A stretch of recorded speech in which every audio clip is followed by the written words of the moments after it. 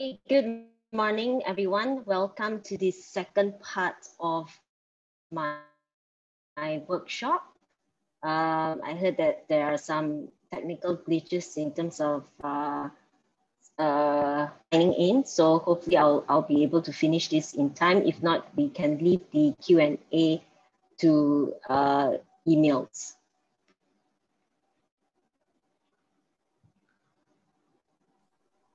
Okay, so let's start with the product lifecycle management. So you can see here, these are the list of a uh, range of estimates of the various development costs for each of uh, the product sectors listed here. These ranges take into account just the cost of research uh, and development, clinical testing, regulatory and approval cost. Uh, all these are prior to commercialization itself. So within some of these product sectors, as you can see, there are some which have extremely broad uh, range in terms of the amount spent on R&D and so forth.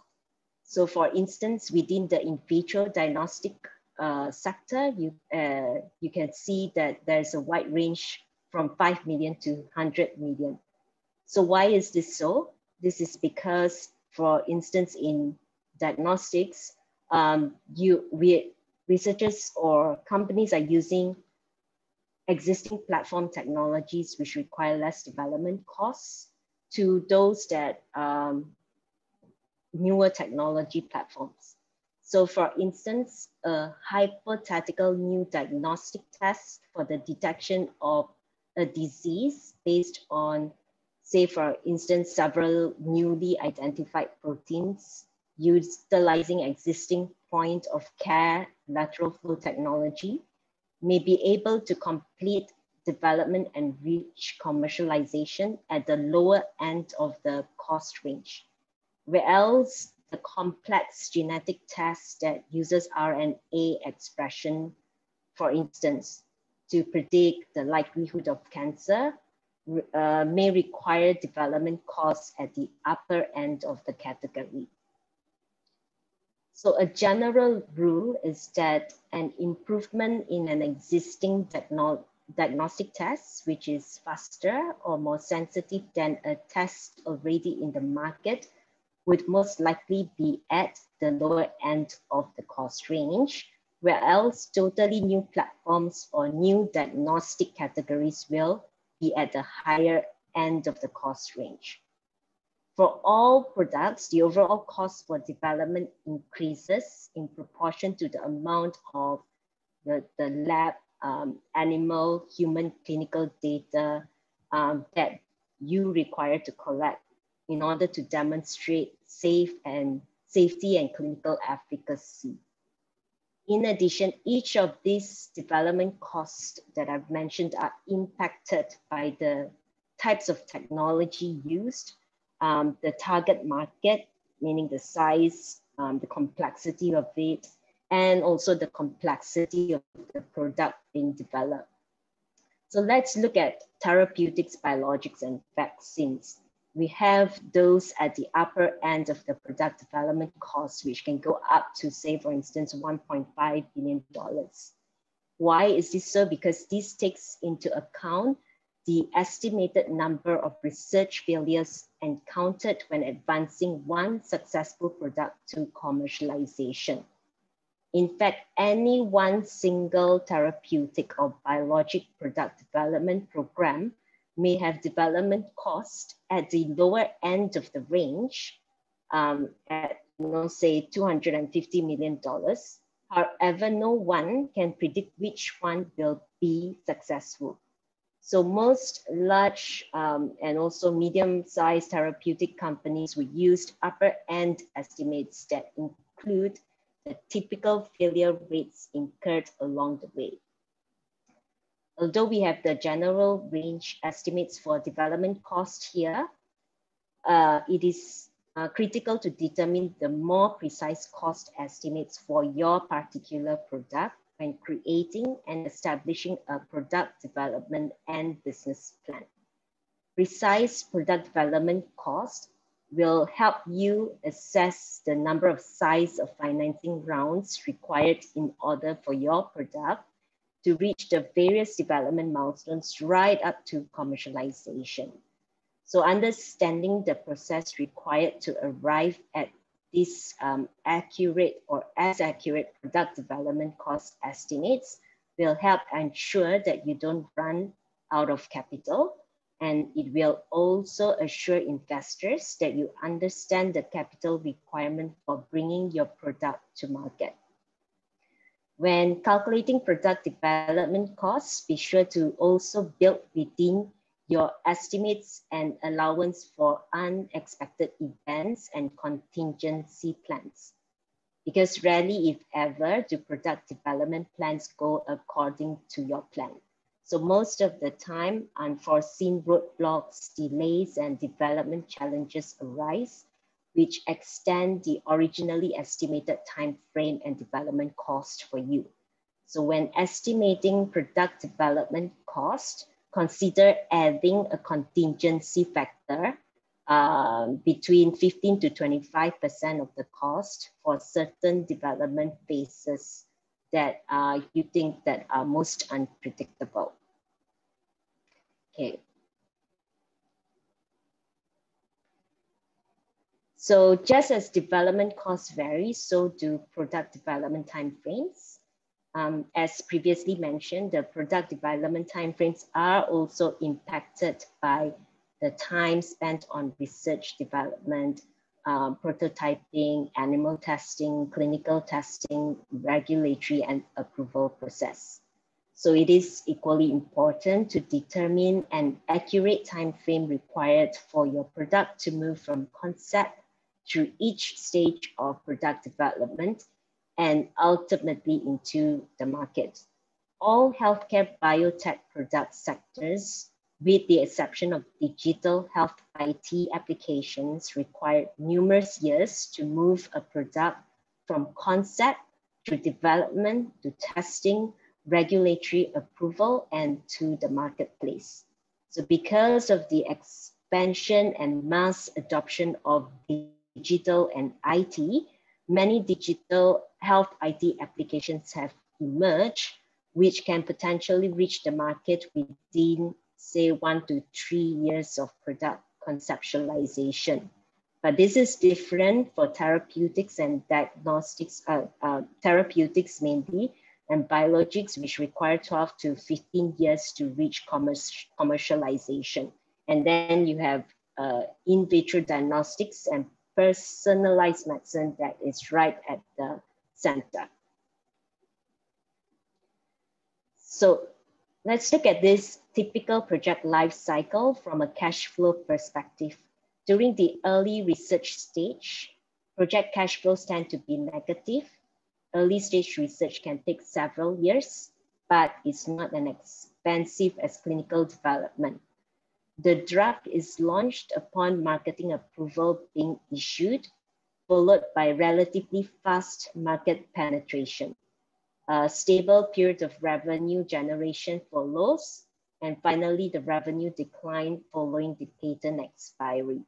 The project life cycle is such that even though the basic term of patent protection should be 20 years from the date uh, of the application for the patent filed, the period during which revenues can enjoy patent protection is effectively reduced to the patent term remaining after regulatory approval. I'll explain that in a minute. So financial models would vary on how far into the project life cycle um, that they forecast. Um, typically, um, they would forecast based on the patent expiry as the, tip, uh, as the end point, um, based on the revenues facing erosion by then. So patents are crucial to biotech companies in recouping the significant investment often required to get a product to the market. Patents are critical in maintaining the competitive advantage in the face of competition. Thus, it is important to build a strong patent portfolio around your products and manage your product lifecycle to maximize the exclusivity accorded by these patents. This requires sophisticated patent strategies and expertise, close collaboration between you and your R&D team, the marketing team, and your patent attorneys are needed. You should avoid becoming complacent when you have your first patent covering a product, but you should strive to build a portfolio of multiple patents and patent families covering the product instead. Ideally, one should pursue multiple patents with stacked patent terms in an effort to extend the life of your patent protection. So timing for filing patent application is equally important. For products that take a long time to develop, consider delaying the filing of some patents so as to maximize the overlap between the patent term and the commercialization stage of the product life. But beware that if you delay patent filing, um, you may incur the risk of losing the first to file priority status and thus the right to obtain such a patent. So timing in filings is important in minimizing the prior art as well as avoiding creating prior art against your own company's uh, patents covering perhaps the same product. So let's look at two examples. Uh, one is Roche PCR patent portfolio, which is a good example of successful IP strategies.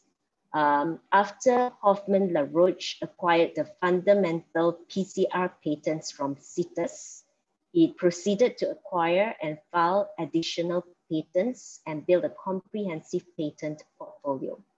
In particular, this patent portfolio includes a large number of patents with different expiration dates covering different aspects of the PCR process and its various applications. So what is so brilliant about Roche strategy? It is that these patents form thick picket fences around the PCR technology and since late 1980s with patent expiration dates between 2005 and 2017 or later, which, has, which had largely withstood patent challenges and generated hundreds of millions of dollars for the company.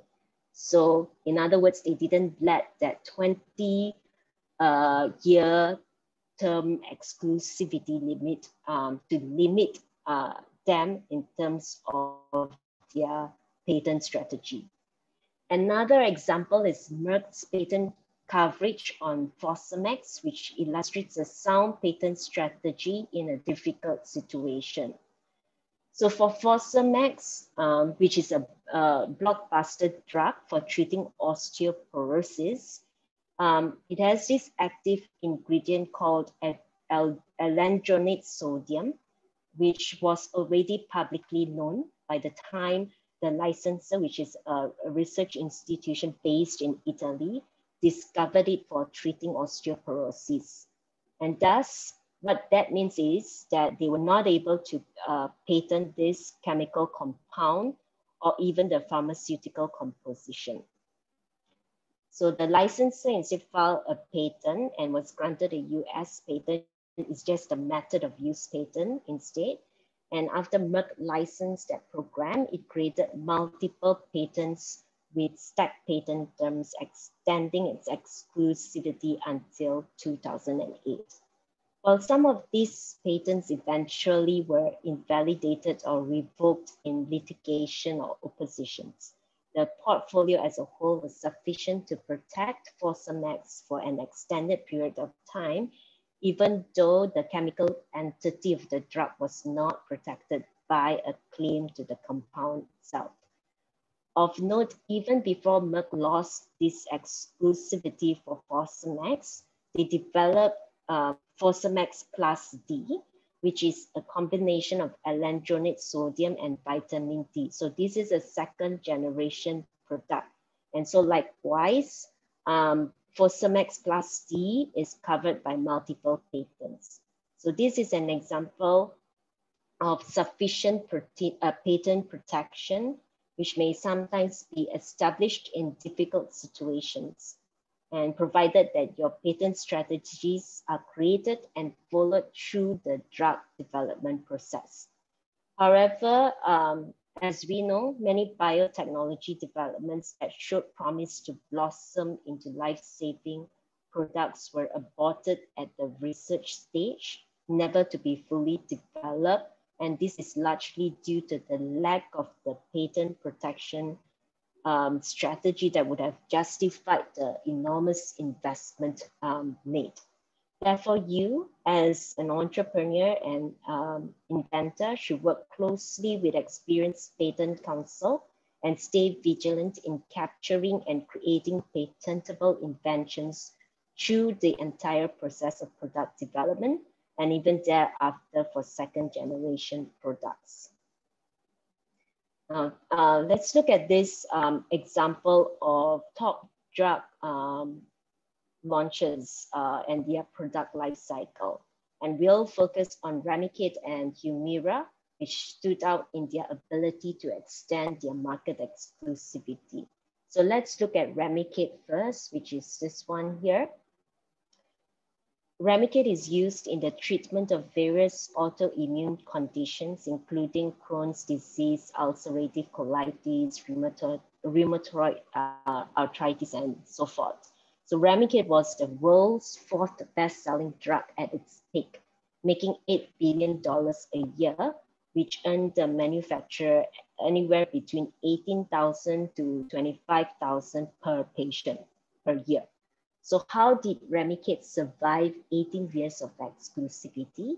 They filed various patent applications, delayed prosecution of one of the patents to extend its term, and over the following seven years before the patent was granted, the claims were amended numerous times and claims that were covered by an earlier patent were added. So that was the layering that I mentioned earlier. Then let's look at Humira, which is this one here.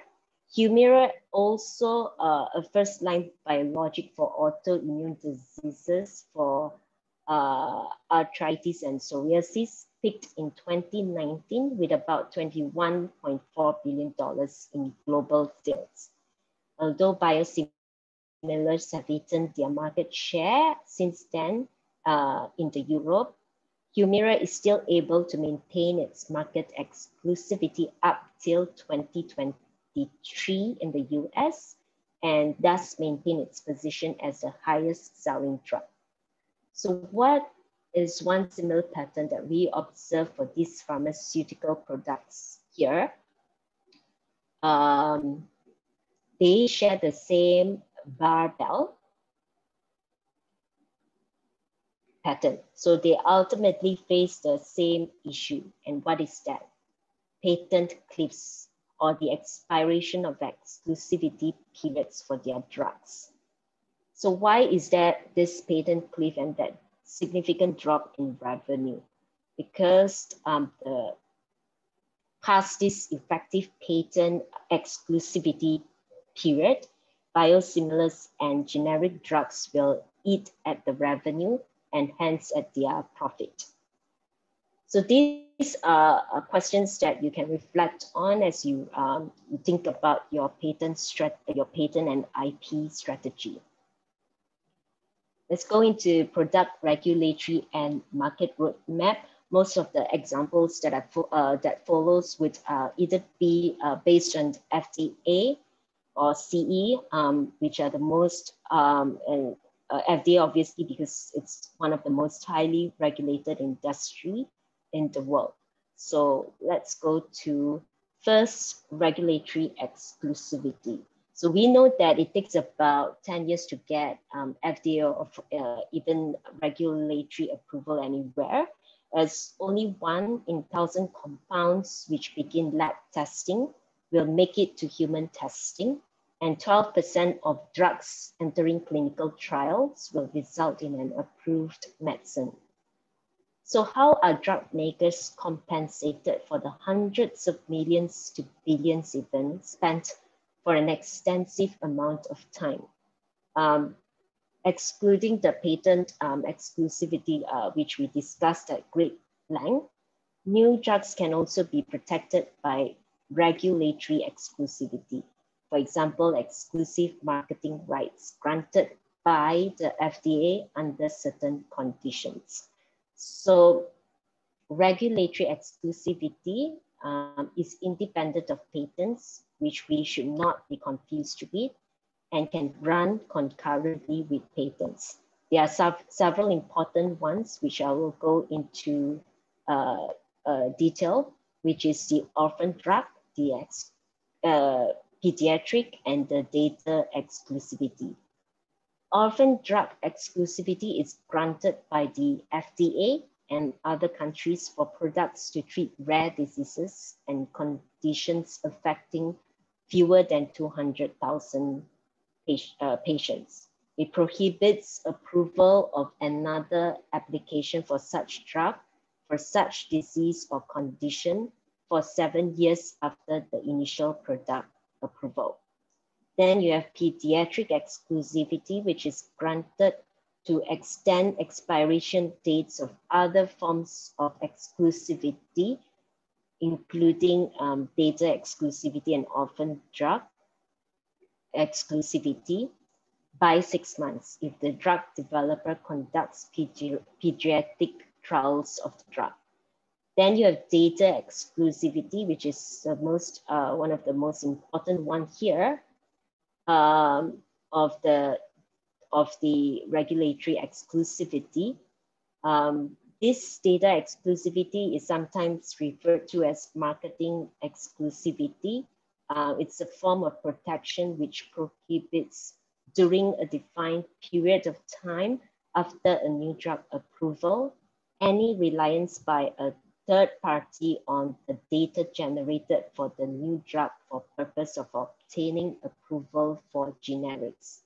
So generally within five or so, five or more years, um, data exclusivity is given. The prospective competitor seeking approval of a generic may not file uh, an abbreviated new drug approval during the five year after the FDA approval for the so-called uh, brand name drug. Okay, so it is important to recognize that regulatory requirements and pathways continuously change.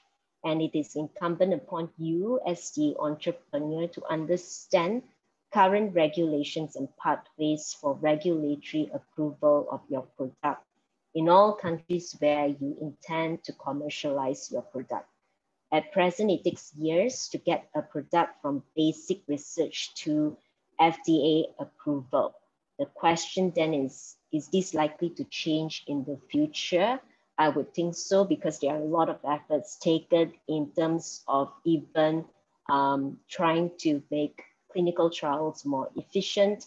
Um, but then again, there are um, even exceptions in recent year, right?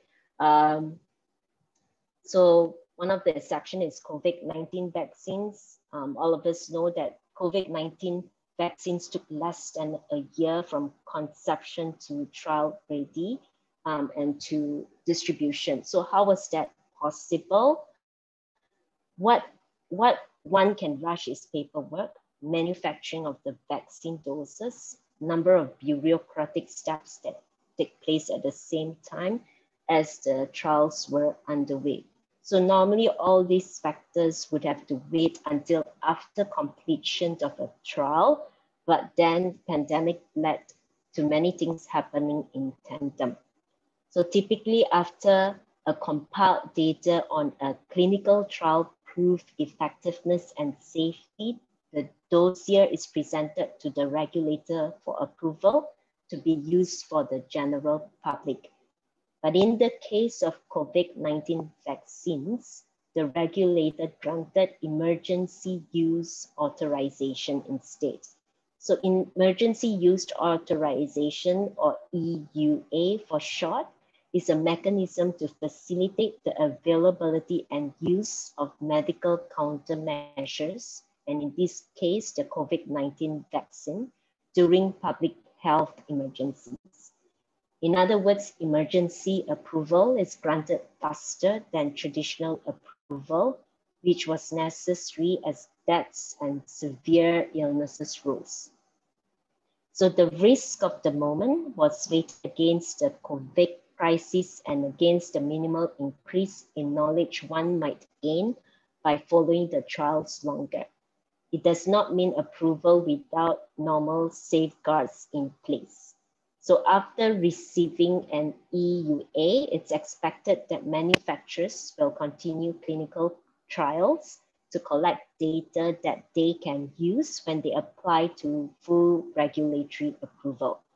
Volunteers who participated in the trials continue to be monitored to track their antibody levels and any related reactions. The manufacturers will track all of its phase three participants for two years to assess long-term protection and safety. The first piece of information, uh, so other than that, the first piece of information that scientists needed was the genetic sequence of this new coronavirus and the virus genome was sequenced and made available uh, pretty quick by mid-January last year. So at that point, the genetic similarity between this new coronavirus and SARS specifically was noticed. So this meant that the scientists weren't starting completely from scratch when it came to quickly developing vaccines. Before a clinical trial even began, scientists used preclinical models to whittle down list of potential vaccine targets. They're looking for the targets that elicit the strongest immune response with good safety profile. So having this valuable information based on preclinical models, uh, which we wouldn't have done so a couple of years back, expedited the vaccine development tremendously. Another advantage that we uh, as a whole are benefiting from in terms of vaccine development is the power of plenty because the sheer number of vaccine candidates for one specific disease is extraordinary, never seen before. It's helping us to make up for the trial and error process that often accompanies vaccine development.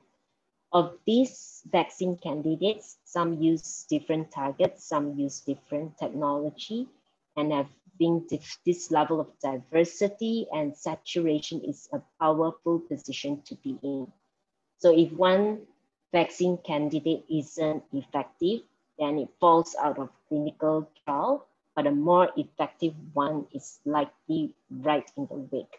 So as we speak, there's still um, still many vaccine candidates um, that are in the pipeline even today, despite of the launch of several other vaccines in the market. So we are likely all heard by now that there is a new technology being used in uh, that, that, that, that there has been new technology being used for COVID-19 vaccines, um, uh, which basically avoids the requirement of loads and loads of virus to first be produced. So one of it is mRNA vaccines. And then, of course, there are other new vaccine technologies. Rather, these new classes of vaccines rely on material that can be synthesized in the lab quickly. So this, among other things, make them very quick to develop. In addition, this technology is likely to work against uh, and has been proven to work against multiple variants. The other critical component of bringing these new types of vaccines to the public quickly is funding. There is unprecedented financial support both from the government and private sector. And given the need to take control of this pandemic, governments, corporates, foundations across the globe have financially backed the most promising vaccine candidates.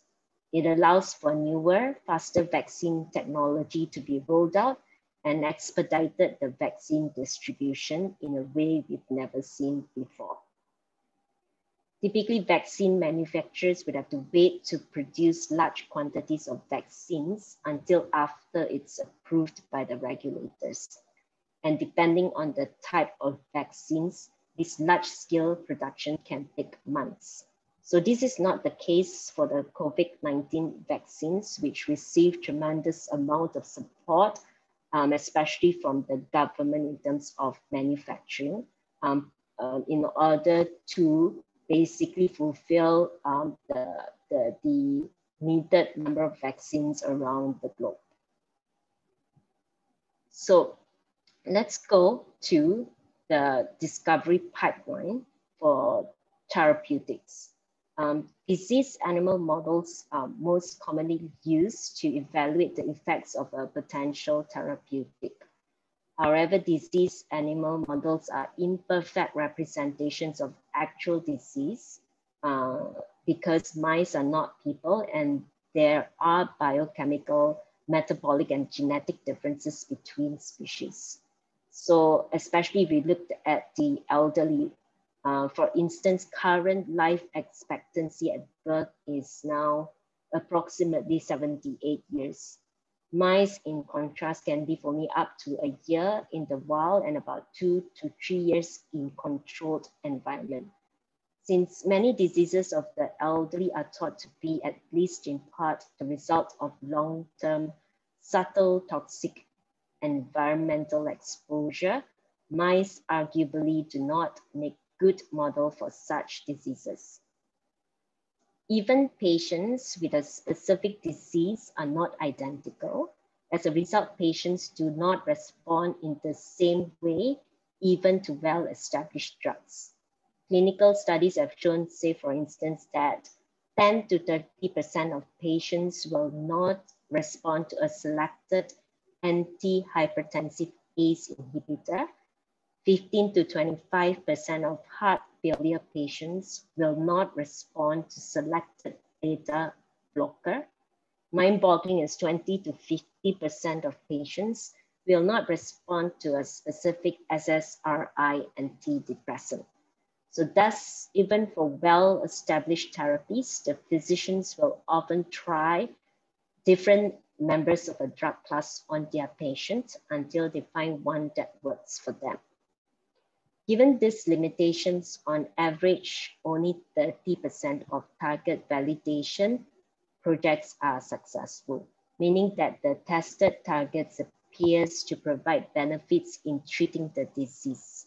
A target identification and validation study would typically take a year and cost about 500,000 to a million dollars to complete if the target is not validated, this is a sunk cost and the research team proceeds to the next candidate. However, an even worse outcome is the incorrect validation of the drug target, and this happens. In this case, work goes forward with mounting cost for a project that is ultimately doomed to fail. In assay development and high throughput screening, once a therapeutic target is validated, the next step is to identify chemical compounds that act on the target in the desired way. So this requires a screening assay, a biological or biochemical test that can clearly distinguish between active compounds that produce the desired effect and inactive compounds that do not interact with the target. The screening assay must be relatively inexpensive since a few hundred thousand compounds are commonly tested in a typical screening campaign. If each assay fully loaded for reagents, labor, lab automation, and other overhead costs 10 cents per assay, expenses for the screening campaign alone will be about 20,000 and this is not counting the expenditure for assay design and validation, which may reasonably amount to 200,000 to $300,000 per campaign. So the assay must also be highly sensitive. At this point, we are looking for a chemical lead, not a finished drug. So one must expect that the crude chemical lead will have low potency that will be improved by subsequent chemical synthesis. Only a sensitive assay can detect such crude weak leads. So the assay must be selective for the activity of interest. All biological assays are subject to artifacts and identify compounds that are not real hits. If such artifacts are both rare and anticipated ahead of time, then this can be easily weeded out through subsequent experimentation. But if they are common and confused with real hits, the entire campaign may fail. So screening can commence once the assay is designed and validated. The question at this point for you is what samples and how many of them to screen? Today's screening campaigns are typically smaller, uh, uh, rationally assembled clinic, uh, chemical libraries. And so thus a campaign could include 50,000 to 200,000 rationally selected compounds um, to be reason reasonably tested for a good volume of chemical space. Assay development, validation, and implementation typically in aggregate takes about a year and cost about 1 million or more. The overall success rate for this research phase is about 65%. Failures can be due to the developed assays for some, uh, due to be due to the difficult to develop assays for some biological processes, especially when the assay needs to meet the difficult combined criteria of low cost, robustness, ease and speed of operation, high selectivity and freedom from artifact. Then second, um, there are times where not all targets are equally druggable, a term meaning that the target activity can be modified by the actions of drug or drug-like chemical. So hopefully at the end of the screening, we have a hit list. What should a reasonable hit list look like? Um, it should be probably about 0.1% to 0.01% that is workable for most labs. So that means for 200,000 samples, we're expecting to produce about 20 actives. These actives are then characterized biologically and chemically to produce leads for the chemical optimization process. Artifacts are removed in so far as possible via biological secondary assays and the potency and efficacy of the true hits are then determined. In general, it is best to focus work on high potency and efficacy actives since these compounds provide a starting point that is closer to the ultimately desired drug. Finding similar compounds repeatedly is generally a good sign that the screen ran well since it would be reasonable to expect that certain chemical structure types will be best able to hit your target of interest. Chemical compounds that are structurally related to the actives are then purchased and tested to crudely identify which chemical features are needed to produce activity. It is a bad sign if the hit compound is active, but all related compounds are inactive. What does that mean? It means that it will be very difficult for you to find chemical analogs with improved activity. And then if we look at the other side of the coin, it is a bad sign if virtually all analogs are active, which means that the hit is working indiscriminately, possibly because of its chemical reactive properties rather than because of its selective action on target. All the prior information is used to select two to three actives as leads for further work. In many cases, the biologist's favorite hits will be different from the chemist's favorite hits. This is because each group looks at the results through their own lenses and through their own scientific discipline and training. The biologists and chemists have different but equally valid perspective on the drug discovery process. Successful projects should incorporate the perspective of both disciplines. Lead discovery typically takes about a year at this point, employing expanded staff and at an average cost of over 1.5 to $2 million. The success rate is again 65%. Failure is typically caused by poor leads or in some cases, no leads. Poor leads have weak biological activity, suggesting that it will require extreme effort to bring the lead to a point where it will have clinically relevant activity. Poor leads can also be chemically intractable with difficult multi-step synthesis and poor potential analog design. So once a lead is selected, the next step in the process is lead optimization with a preliminary knowledge established regarding which chemical features are needed to carry the desired biological activity. It is common to now refer to the lead as scaffold, which will now be decorated with chemical substituents to produce the final drug molecule. Analogs are made and then tested in multiple biological systems, initially in test tube and later in cells and lab animals. Obviously, analogs will be tested for improved potency and efficacy against the target because highly potent and efficacious compound can be dosed at low levels, reducing the potential side effects.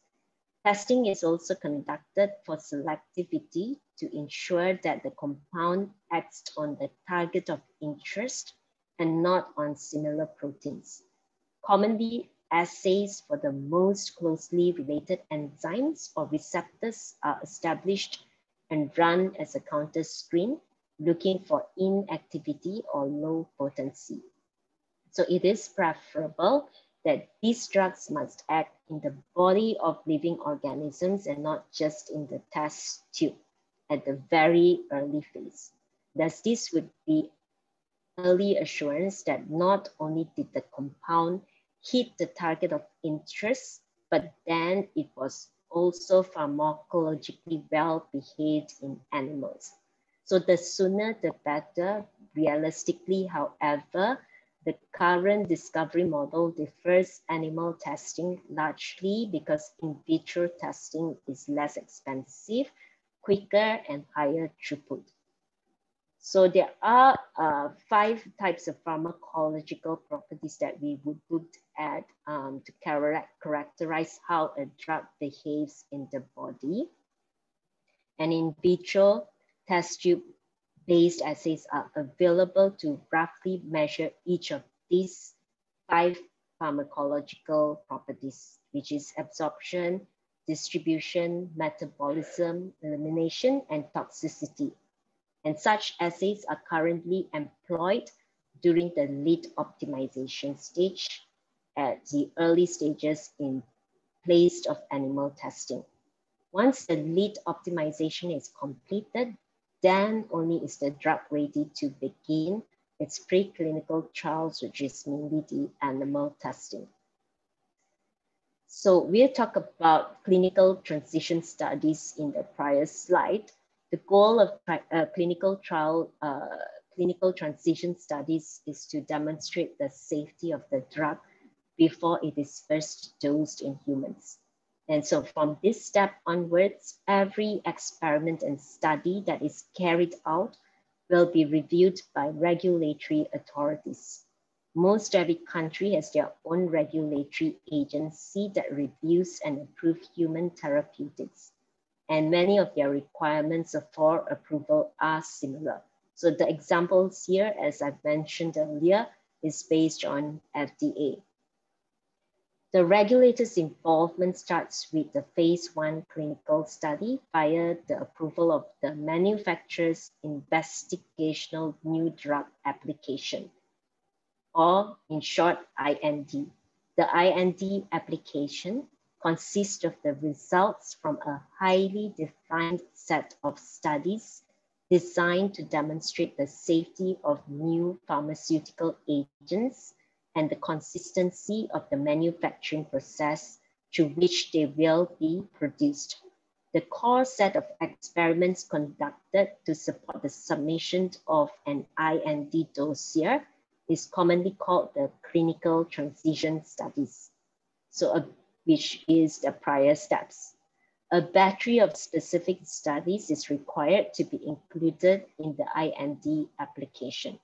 Although all scientists are trained to carry out experiments in a carefully designed and executed fashion and to record observations with high precision, studies intended for submission to a regulatory agency are in addition subject to a system of management controls called the good laboratory practice.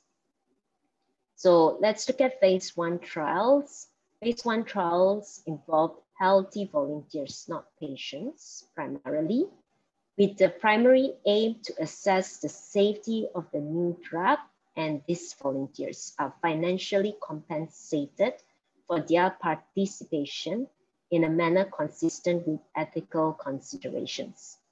The phase one study will produce data on the pharmacokinetics of the drug and its pharmacodynamic properties.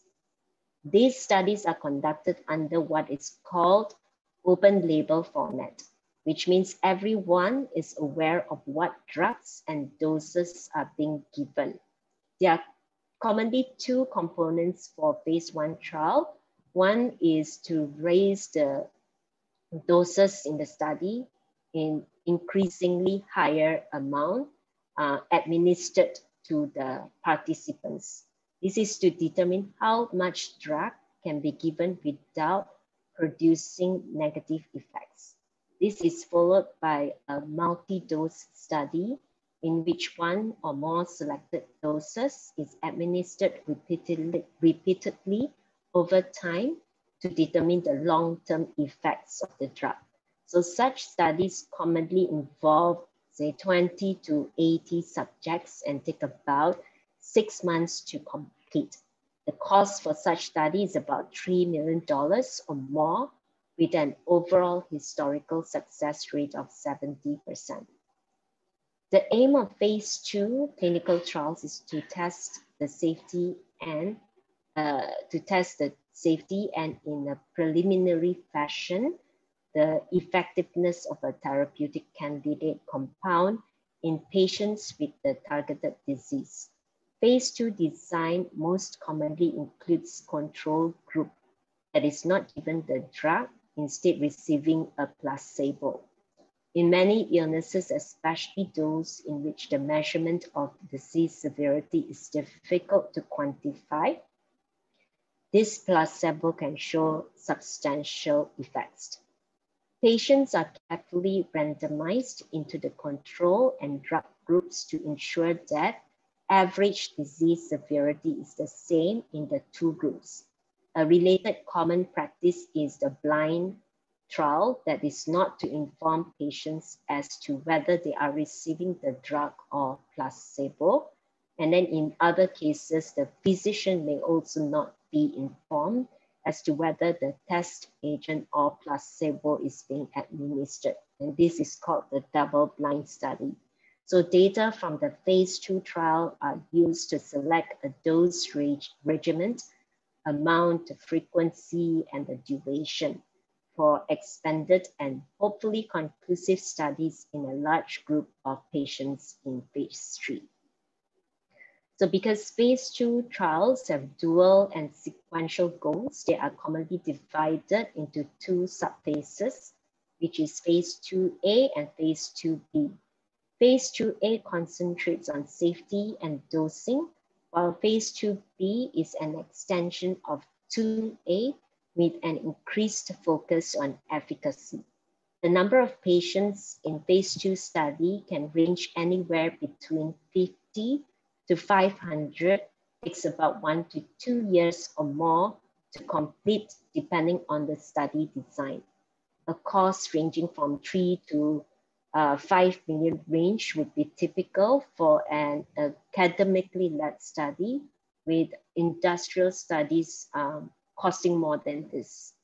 So the historical success rate for phase two has been on the order of 50%. The goal of phase three trial is to unambiguously show whether or not a new compound is effective in treating the target disease.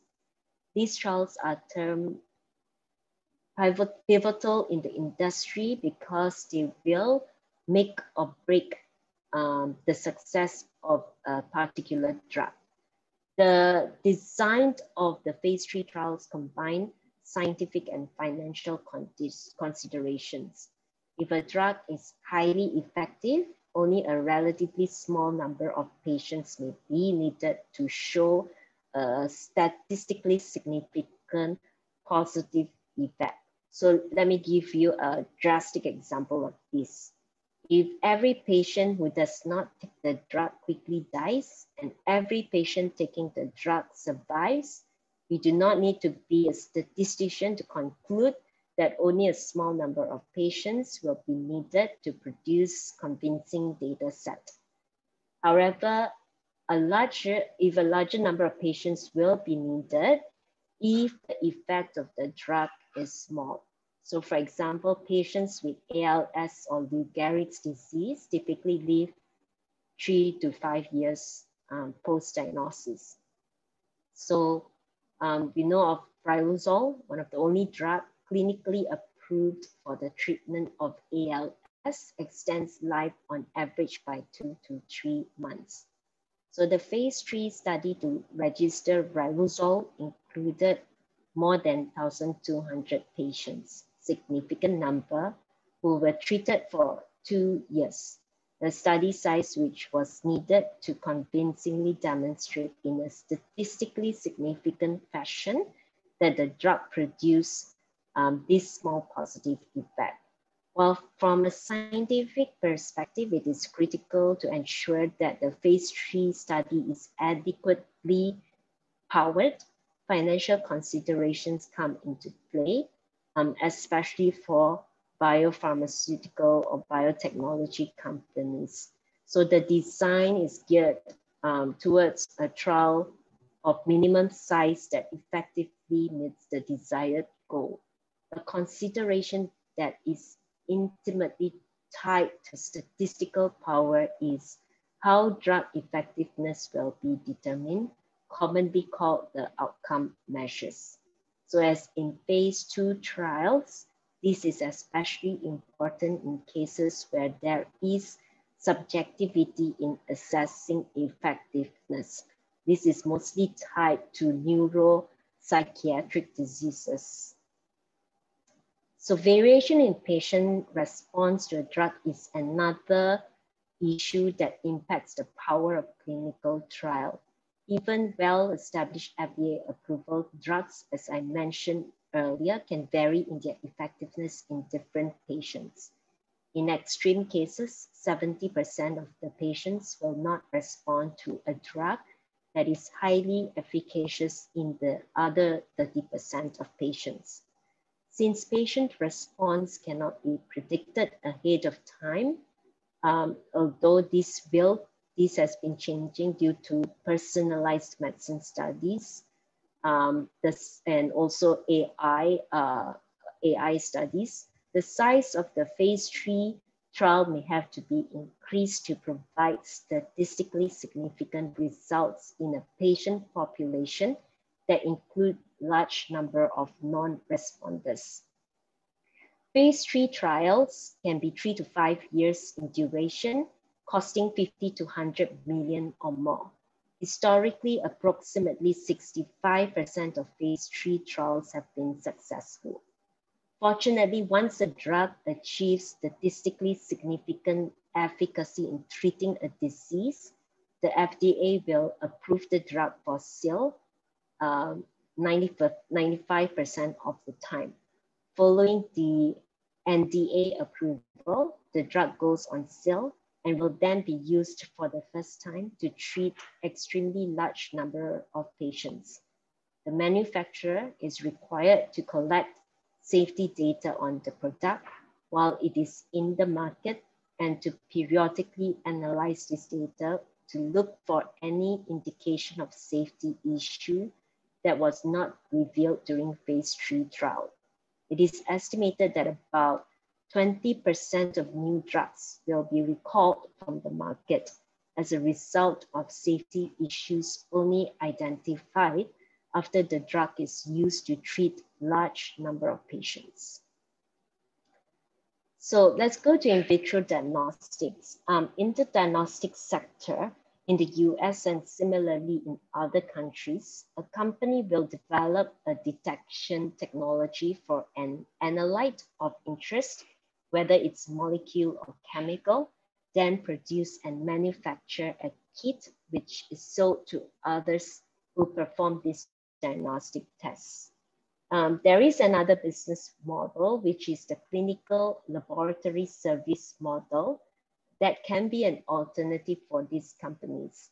In this model, molecular and diagnostic companies perform unique and proprietary tests as a service rather than to provide the kit operating through a single company-owned clinical lab. So there are several advantages to the lab services business model as opposed to the kit manufacturing model.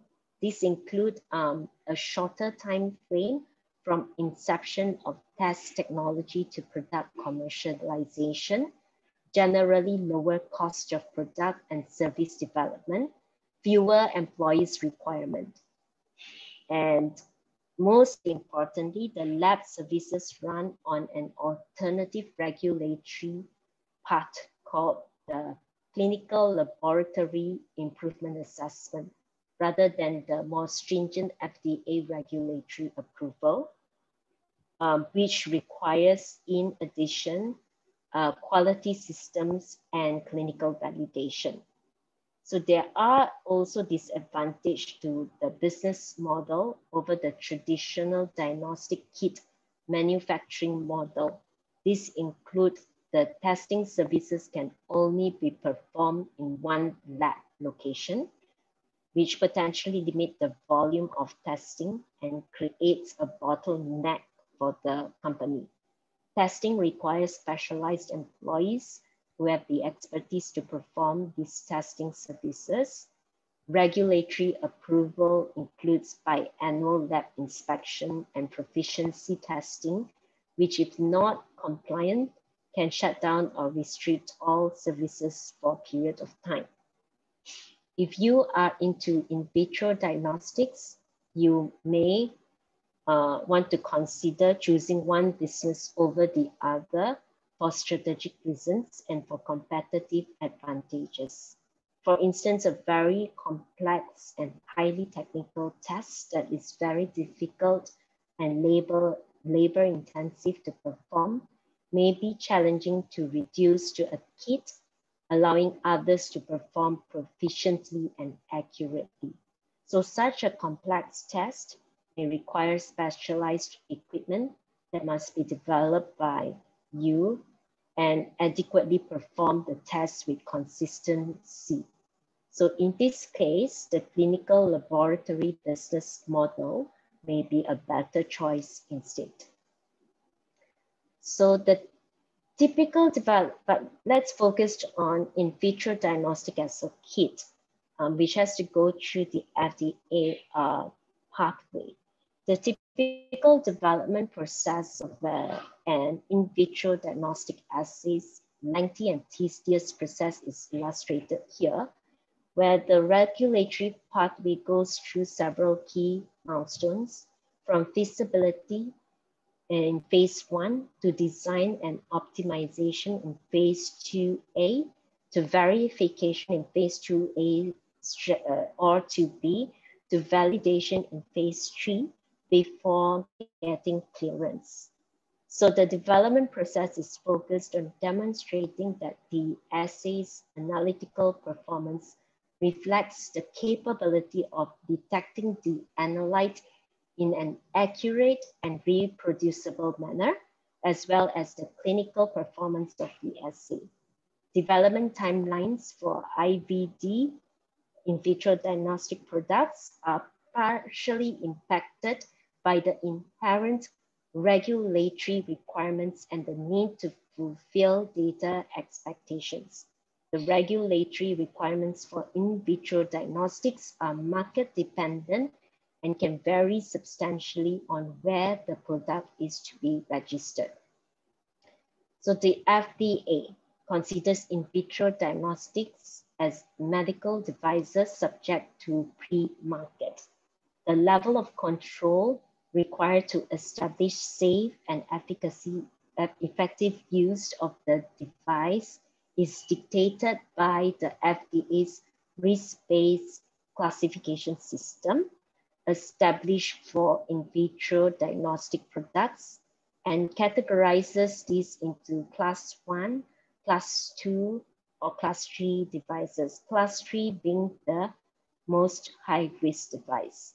This classification system outlines the compliance requirement that will guide the development of in vitro diagnostics and whether subsequent regulatory pathway will require a pre market notification or what we usually call the 510K or submission of a pre-market approval application for marketing authorization. The perceived level of risk is a reflection of the intended use of the in vitro diagnostics. And there are examples where the FDA has approved assays detecting exactly the same analyte under different regulatory pathways, depending on how these assays uh, are intended to be employed. So for example, um, the bioMérieux VIDAS Total PSA assay, which is indicated as an aid in the detection of prostate cancer was approved by FDA under the pre-market approval pathway due to the perceived high level of risk to the patient for subsequent follow-up and treatment.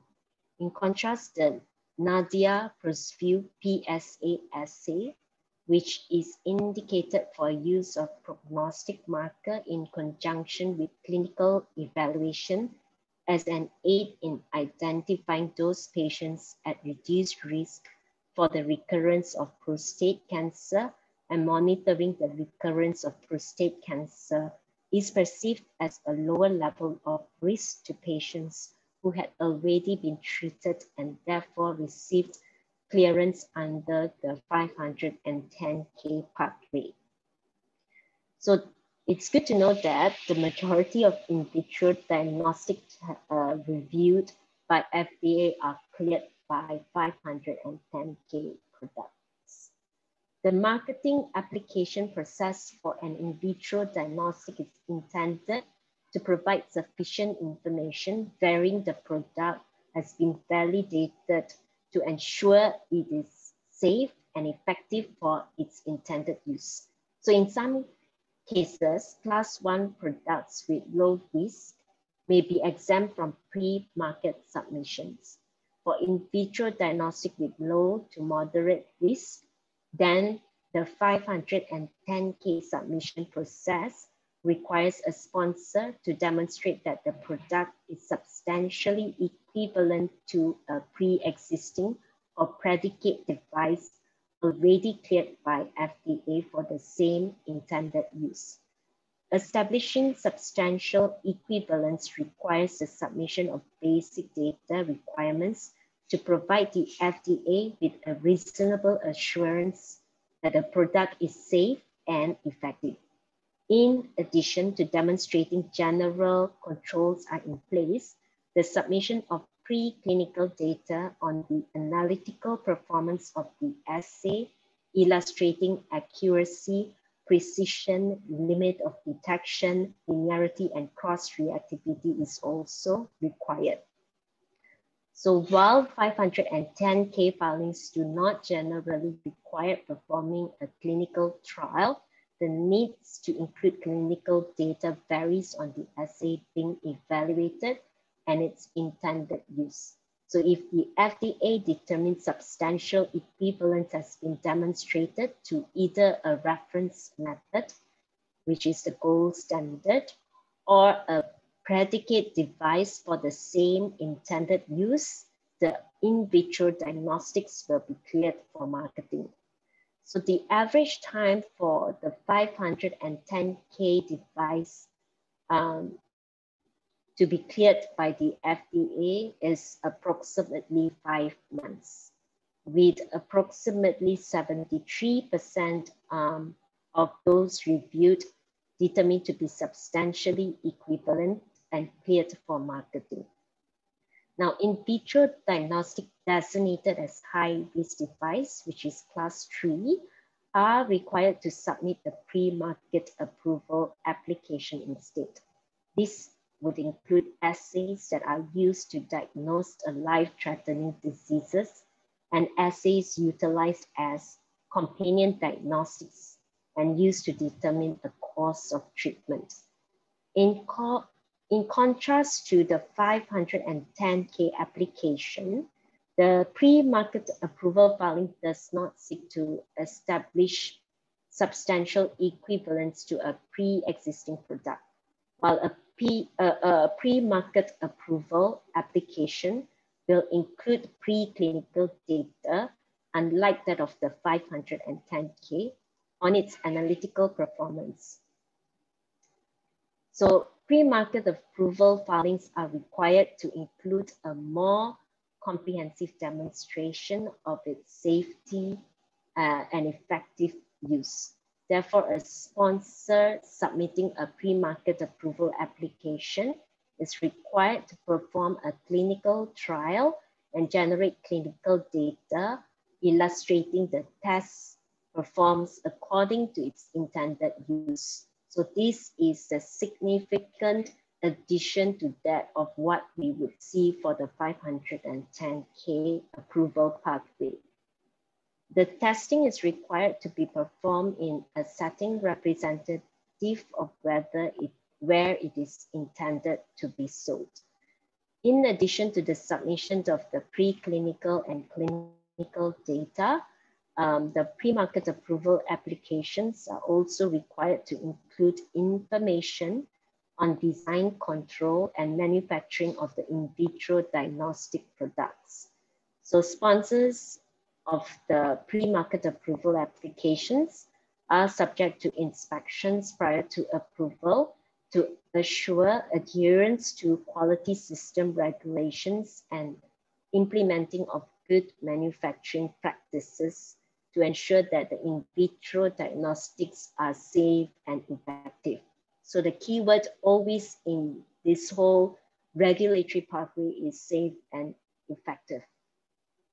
A key feature to mitigate regulatory risk for you is the availability to you as sponsors to engage feedback from the agency via the pre-investigational device, which we call the pre-IDE meeting.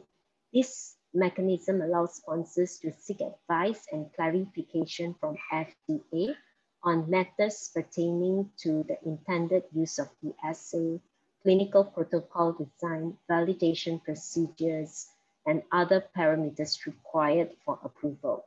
Although not binding on the FDA's part, pre-IDE meetings can provide valuable information and guidance on the FDA's expectations then the average number of days between filing the pre-market approval application and the receipt of the decision, um, whether it's approved or not approved, is approximately 15 months, with approximately 68% of this being accepted for uh, of this being accepted for regulatory approval. So Let's look at CE, um, which is uh, uh, uh, mostly in the Europe, consists uh, which consists of several classifications, not too dissimilar from the FDA. Once your company has determined the risk classification of the device, Then you must determine which conformity assessment procedure you will follow to receive CE marking approval. I find this to be a bit more complicated than the FDA um, pathway, but the conformity assessment procedures available for each classification are identified in the medical device directive, which you can um, look at. So if you recall, for FDA, class one devices are uh, uh, mostly exempted from uh, pre-market notification approval um, if it's low risk. So likewise for CE mark, um, they give a more uh, definite, uh, they give a more definite ex, uh, explanation. One device that is non-sterile and non-measuring then would not require a notified body. However, all other products will require your company to select a notified body. If your company does not require a notified body involvement, then you will be able to issue a declaration of conformity in accordance with Annex 7. You will also need to register your product with one of the competent authorities in Europe. And if you do not have a physical presence in Europe, you will also need to select a European authorized representative. If your medical device is any other class apart from class one, you will have to provide the notified body with proof that your product fulfills the essential requirements of the respective CE directives. So most companies use the Annex 2 conformity assessment process to achieve CE marking. In this process, the notified body reviews the technical file and quality systems for conformity with regulatory requirements in the applicable, uh, applicable directives. So as part of the Annex 2 process, the notified body will have to audit your design process to ensure that you have the adequate design controls and that your process for establishing and maintaining a technical file is adequate. Once your company has adequately addressed um, any findings from the audit, the notified body will issue your company a full quality assurance CE certificate. So once you have this certificate, you will be able to launch new products without prior approval from the notified body, so long as it's within the scope of this Annex 2. The Annex 5 conformity assessment process is the most common route to ECE marking for most companies as the, they outsource product design to third party. So if your company outsources design and you cannot demonstrate full quality assurance as previously mentioned, then the, then the notified body will issue you the Annex 5 CE certificate for product production quality assurance. Then you have the Annex 3 conformity assessment process, which is a type of examination that is performed for higher risk devices where the company does not have the Annex 2 certificate. This type of examination involves a review of your company's design dossier and the notified body issues a type examination CE certificate. But the thing is this certificate cannot be used alone. Um, it has to be used in conjunction with others. So say for instance, the Annex 5 certification for production quality assurance. So this combination would be used mainly for class 2B and class 3 devices in place of the Annex 2 certification. So um, let's look at um, the classification in detail. Medical device class one have the lowest perceived risk if your product is class one and it's not sterile, it's not measuring device, then all you need is self-certification as earlier mentioned and formally declare its compliance with the applicable requirements of the uh, medical device directive. If it's sterile or measuring uh, medical device, then you will still need a notified body assessment. Then we have the medical device of class 2A, which includes surgical gloves, hearing aids, and diagnostic ultrasound machines. These constitute the low to medium risk um, range. Patients should use them for a short-term period and needing less than 30 days. So if you are a manufacturer of class 2A, you will have to back up your declaration of compliance with a notified body assessment. Only then you will be allowed to place your product in the market. Then you have class 2B. We can include medical devices such as long-term corrective contact lenses, surgical lasers, and defibrillators and others. These are medium to high risk devices and patients may use them for a longer period, longer than 30 days in class 2A.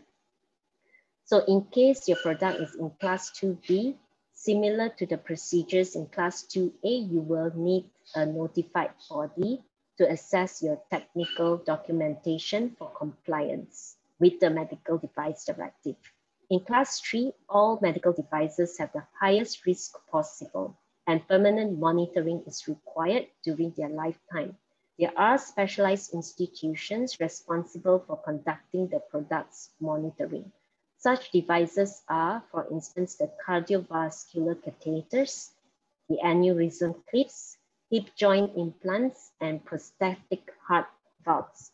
Here and also in class two, the conformity assessment of the medical devices may include an audit and technical documentation and a quality system of product inspection and to be focused on one or more aspects of the device design and production.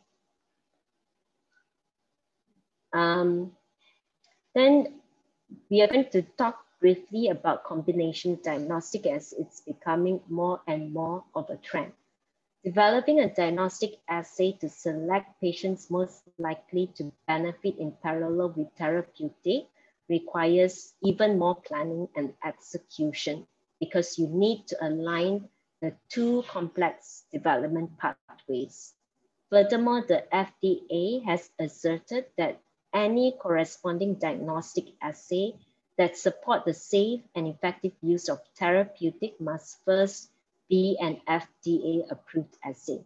This additional regulatory requirement therefore must be achieved prior to the therapeutic being approved for commercialization.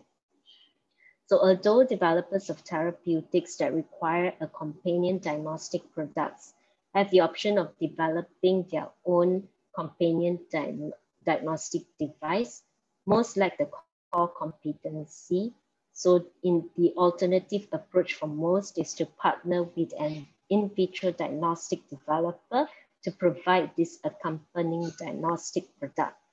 Those capable of placing the companion diagnostic wherever the therapeutic partner intends to sell its targeted therapies would appear to be the partners of choice. So they will look at the global outreach of this in vitro diagnostic um, providers.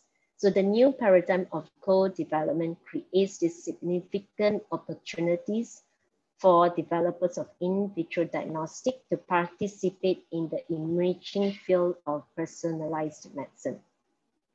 In vitro develop, uh, diagnostic developers will see their assays establish a new standard of care and segment the market into optimal responders and spare those who would not benefit from this particular therapeutic. It also affords these developers an opportunity to bring innovative technologies to the market as those with efficient technology platforms capable of providing comprehensive information from minimal amounts of materials. So however, this co-development process may be viewed as disruptive for both the therapeutic and the diagnostic companies compared to the way that it has been traditionally operating and developed their respective products. So aligning the development of in vitro diagnostic and therapeutic still is a challenge that will need to be addressed. The therapeutic partner needs to be assured of the feasibility of the approach, while the diagnostic developer needs to be incentivized to maintain engagement and provide these innovative products.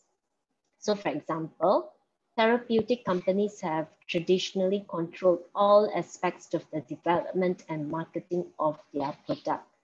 Those who have been brought into the development cycle have usually been compensated on a fee for service schedule, such as contract manufacturing organizations. Now, companion diagnostics and all uh, in vitro diagnostics are considered medical devices and are subject to pre-market controls as explained earlier. And essentially most of these would fall under the class three classification, which is subjected to pre-market approval application for marketing authorization. So therefore, when used as companion diagnostic, in vitro diagnostics have a high level of regulatory requirement to achieve which in turn has implications on the development timeline of these in vitro diagnostic products and when it can be available to be incorporated into clinical trials for validation as companion diagnostic. When used a companion diagnostic, unless initiated early in the drug development process, there is a risk of not having the in vitro diagnostic available at the start of a pivotal clinical trial for patient selection. And thus this impacts and delays the development timeline for the therapeutic company. So prior to integrating the assay into its clinical validation phase of development, the in vitro diagnostic will have had to complete their analytical validation in which the performance of the assay has been optimized and the design and specification of the assay has been verified.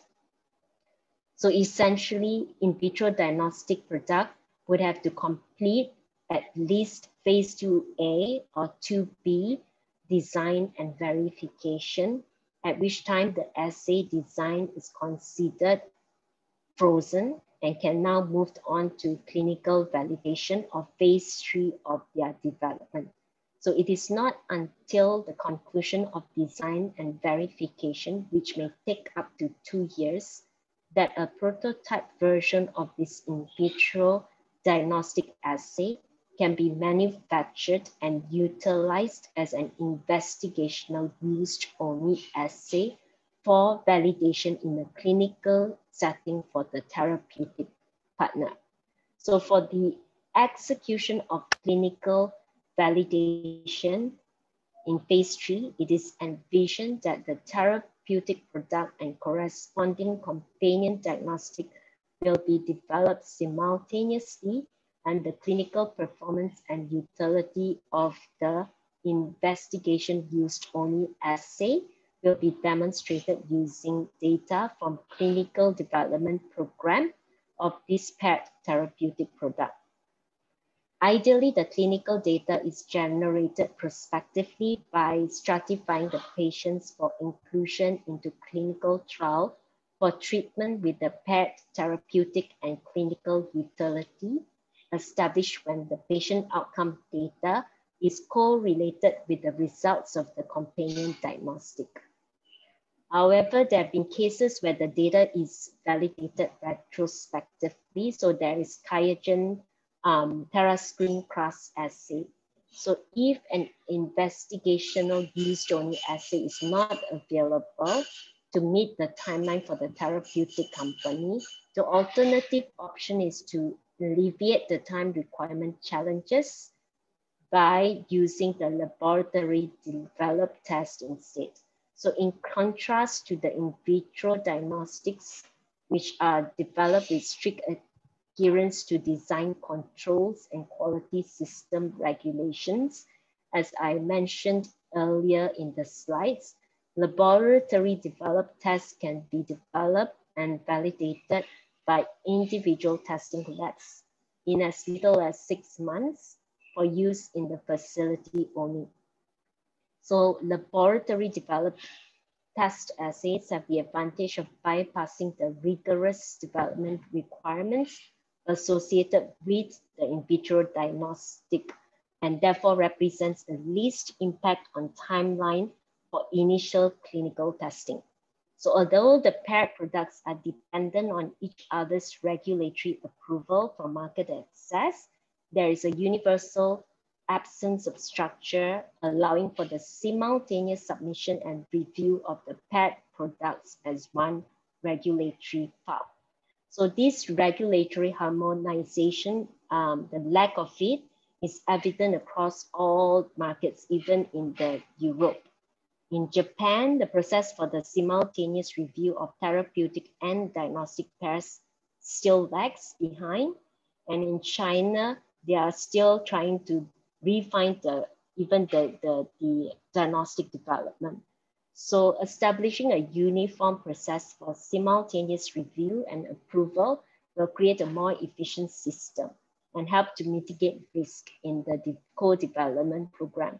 So if you are in this um, area, um, I think that you will need to pay attention in terms of the, uh, the regulatory development. So, so let's take a break, a short break here, um, five to 10 minutes before we go into ethical considerations. Uh, take a breather because ethical consideration is going to be a lot lighter than this earlier slides um, that we've been going through. All right, thanks, Ross. Let's take a break.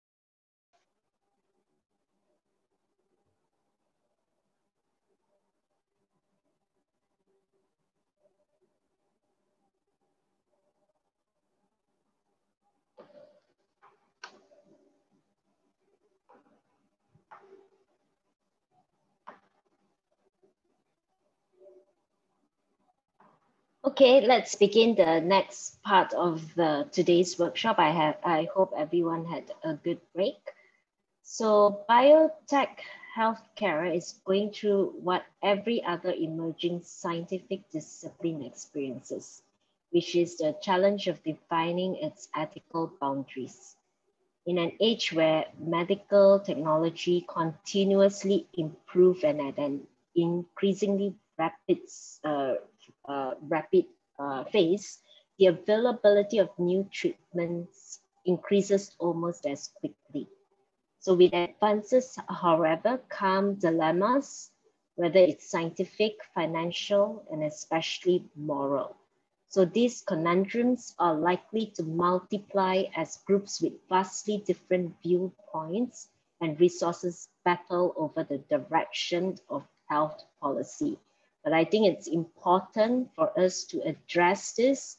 Um, it's, it is our responsibility whether we are a bio researcher or a bio-entrepreneur to address the ethical considerations that may impact the public. So um, how best to go about this is to give you um, case studies to ponder upon the, um, some of the more recent um, events that uh, took place. So the first one is the case of Jess Gelsinger, um, not sure if any of you are familiar with this.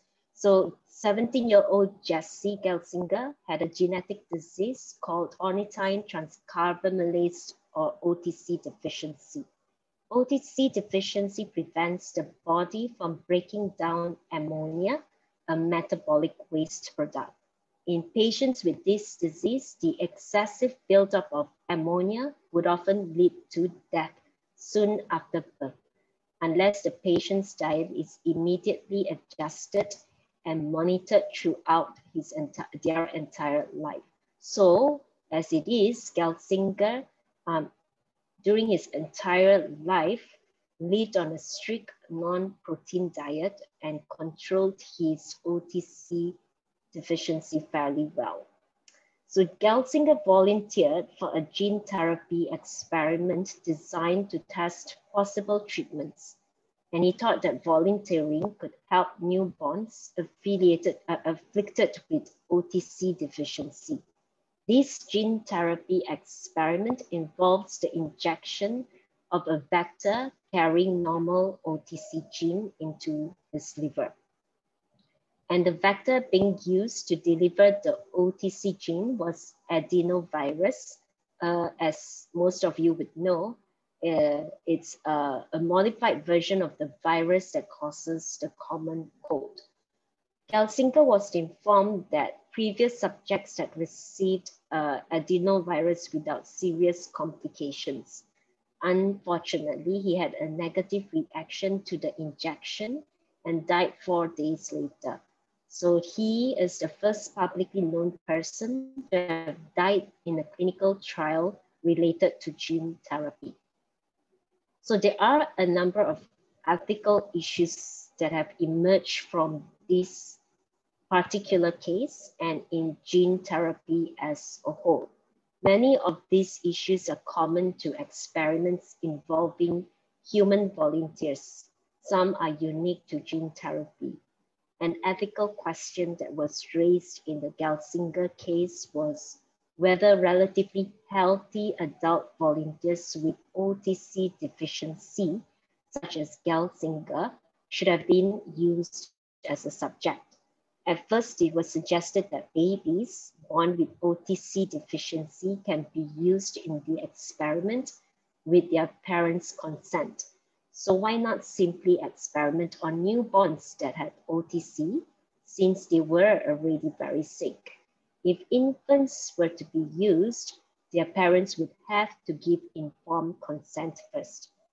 A concern was raised as to whether parents with very sick newborns could really understand that gene therapy experiments were risky and probably would not help their baby. So in contrast, adults with the condition could understand the risk and weigh them against the experiment's potential benefits. Adults were chosen because they could better comprehend the risk of the experiment and provide informed consent. So at first it was thought that the vector that caused Gelsinger's death was relatively safe and that the deadly reaction was random and unforeseeable. However, um, as the investigation proceeds into Gelsinger's death, reports began to emerge that the past research subjects and experimental animals had become sick from the vector. So this revelation raises the ethical concerns since these previous problems were apparently not correctly communicated to Gelsinger and the other volunteers.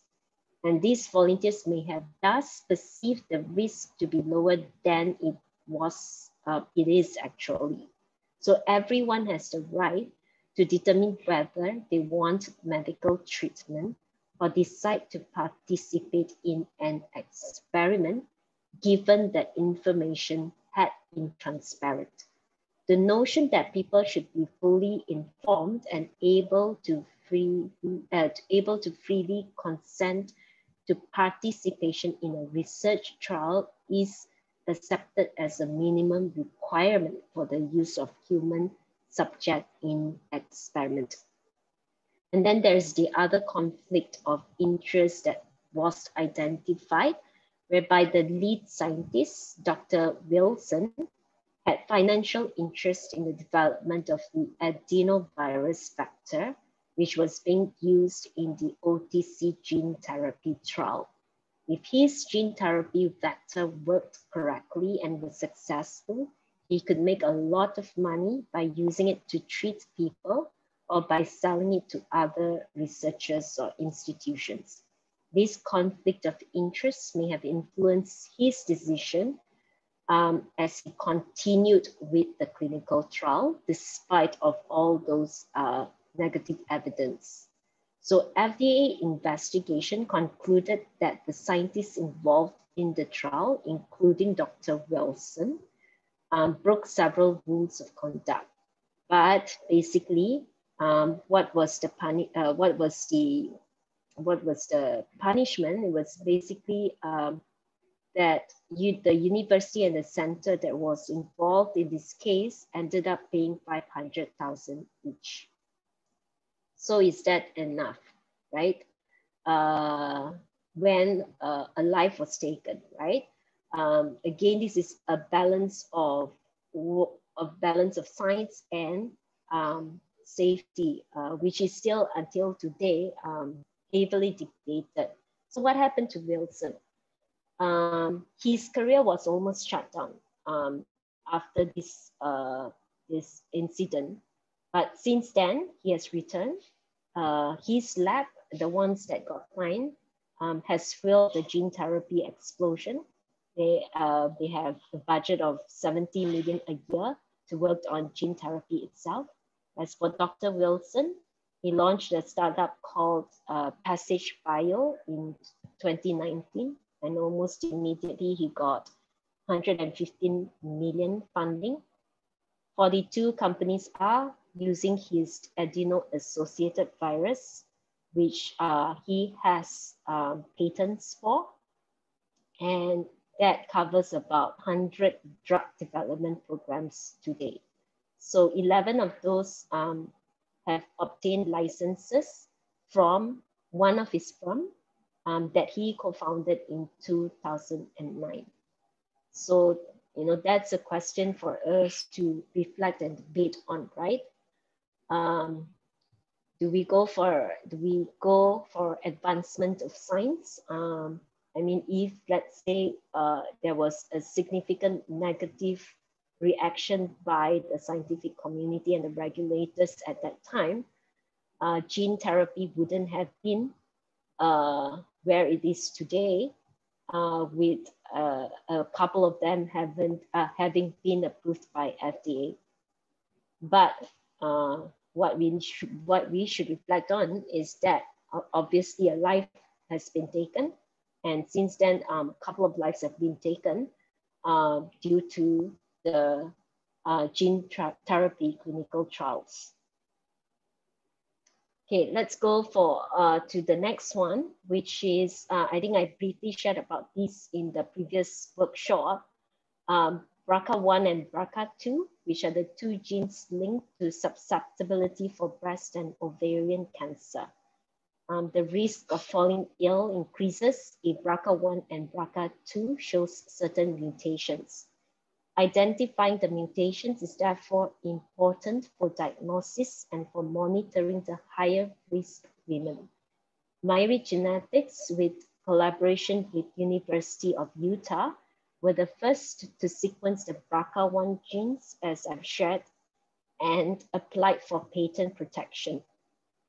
Together with the University of Utah Research Foundation, Myriad holds two US patents on the isolated DNA coding for BRCA1 and on the screening method. So in uh, 1997, together with two other institutes, one in Canada and one in Japan, they also received patent protection on the isolated DNA sequence, which assert rights over a number of mutations in the gene. Further patent applications were filed on the second gene, BRCA2 in the US and in other countries. So what's so controversial about these uh, patents? The opponents challenged the patents on the basis of the patentability criteria, arguing that the claimed invention lacked novelty, inventive step, and industrial application, and that the patent failed to disclose the invention sufficiently for a person skilled to carry it out. So amidst these underlying technical grounds for opposition in relation to the patents were deeper ethical and policy concerns. So in addition to the continuing questions about patenting inventions derived from human genome that occurred naturally, the Myriad case raises concerns about the potentially limiting effects of patents on further research, on the development of new test and diagnostic methods, and on access to testing. While the considerable medical benefits of cancer screening technology were not in dispute, there were differing views about how the patent system should recognize such technology, if at all, and about how patents on such technology, once granted, should be exercised. So um, if you followed this case, um, in the end, they lost their patents um, in relation to the, the, the, the sequence. Um, only in US and certain parts of the world, uh, what this demonstrates is how the technical grounds of patentability should act as important safeguards of the public interest aimed at ensuring that patents are only granted on genuine advances in knowledge and are not used to exclude access to material in the public domain. So there is concern that some gene patents are, for example, drafted too broadly with the effect of overcompensating the patentee by covering all future applications. So there has to be a balance and that remains a difficult one and a challenge for um, the regulators and the company. For as long as society relies largely on private entities to invest in developing new genetic research-based treatments and diagnostic, biotechnology companies like Myriad uh, will continue to want some degree of exclusivity in compensation for the investment poured into their research. So much of the debate uh, surrounding the Myriad case, however, concerned, as I said, not the validity of the patents, um, although they were disclaimed in the end in US, similar patents held by other entities have not attracted that kind of same criticism, but it's rather the ethics of how the patent's rights were exercised commercially um, that is the issue. So Myriad's critics charge that its licensing policy and the high prices demanded for testing under the patented technologies had the effect of preventing other labs in countries where the patent was enforced from carrying out diagnostic testing. The case raised questions as to whether, and if so, how regulators should step in to deal with concerns about licensing practices. Now let's go to the most recent case, which is CRISPR babies. Um, as we know, it's human germline genome editing. Um, and at this point, it's clearly human subject research. Whether or not the edited embryo is a human subject, the prospective parents are, as in the woman who is to carry the pregnancy. That means in almost all countries with significant human medical research and regulations, any effort to make a baby through human germline genome editing will have to be reviewed by the IRB or the equivalent and will have to be judged to have potential benefits to the subject or to the science of medicine that justify their risk and must provide a good informed consent. In China, um, as we will know later, any genetic manipulation of human embryos for reproductive purposes is prohibited. But um, after all this, um, in 2018, news broke of two germline edited babies in China. And how did this happen? without much um, fanfare. It started when He Jiankui, a scientist in China, proposed to a HIV-infected couple, um, sorry, to HIV-infected couples, a technique that may be able to produce an IVF baby naturally immunized against AIDS. In a nutshell, the genome editing tool CRISPR was used to alter a gene in IVF embryos to cripple production of an immune cell surface protein, CCR5, that HIV uses to establish an infection. So what intrigued the couples are that their children could also pass the protective mutation to future generations. The prospect of this irrevocable genetic change is why since the advent of CRISPR as a genome, the editing of human embryos, eggs, or sperm has been hotly debated. The core issue is whether such germline editing would cross an ethical red line because it could ultimately alter our species. So let's go back to Shenzhen again. The two couples agreed to volunteer. Um, her study was up and running and he would enroll six other couples. It proceeded quietly until the news broke in November 2018, days before the second International Summit on Genome Editing in Hong Kong, which he was due to speak. Um, so scientists and ethicists condemned He's medical rationale when they found out about this because the experiment um, and worried that it is unnecessarily um, because it puts these girls at risk. And people in the field confronted an uncomfortable truth, which is that regulations and the scientific community's efforts to control CRISPR's powers had failed.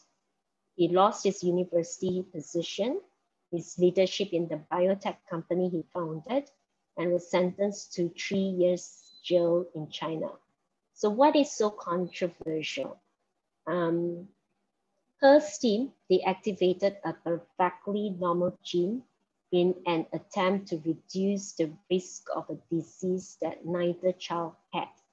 So I think whatever that he did subsequently, I think would be considered reckless and naive. He made new mutations and there's no reason to think that they'll be protective or even that they'll be safe.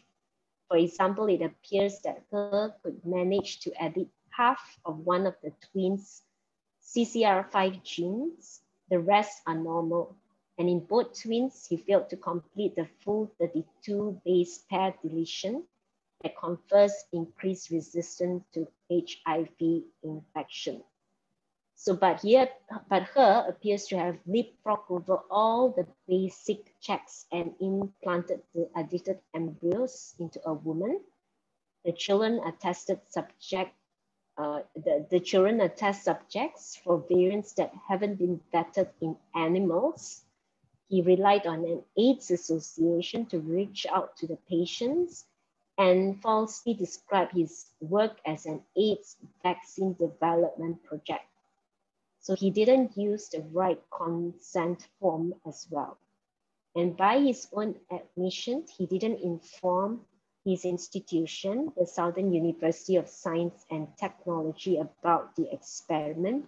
He quietly, quietly took unpaid leave um, to perform this um, um, trial. So he claimed that he received ethical approval, um, but the uh, from a hospital, but the hospital denied that their medical ethics committee approved of such a project and that the signatures on hers approval form was expected to have been forged. So even though He spoke at scientific conferences about his gene editing research in other animals, he only discussed his ambition to edit human embryos with a select few.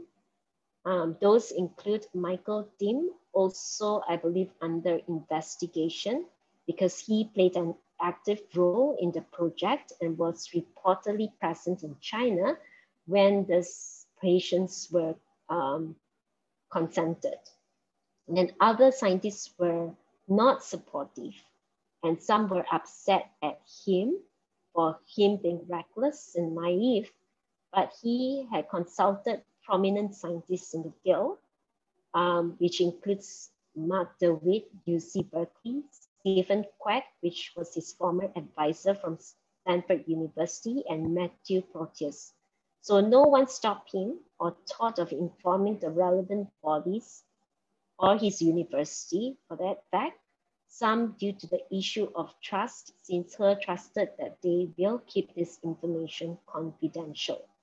So at the end of the day, this is a failure of self-regulation by the scientific community towards the public. In contrary to mainstream belief that every fetus has a sign has a right to remain genetically unmodified. There is also the thought that parents hold the right to genetically modify their offspring and that every child has the right to be born free of preventable diseases. This is debatable, but should a balance be determined to allow for the safe use of germline engineering for improved health and life? Or would this field be stunted by the careless approach of that one scientist? Right. So now let's go to licensing and partnership deals. Um, we will talk about in, li uh, in licensing first, as most of you are um, anyway from research institutions or universities. As a startup, you may have encountered various licenses in your dealings with the universities and research institutions. So I have listed a couple of key ones here. The first is the commercial evaluation to option license agreement, which are short-term non-exclusive license agreements to allow a licensee to conduct feasibility testing, but not to, not to sell products developed from the technology. These typically run no longer than a few months and have a modest cost associated with them and include relevant materials that are supplied by inventors. Some universities may also use this type of agreement in the form of a short-term exclusive option agreement for a nascent technology with the hope that a long-term diagnostic vaccine or therapeutic product commercialization, which is below here, license agreement will later be completed. So this is a step before that.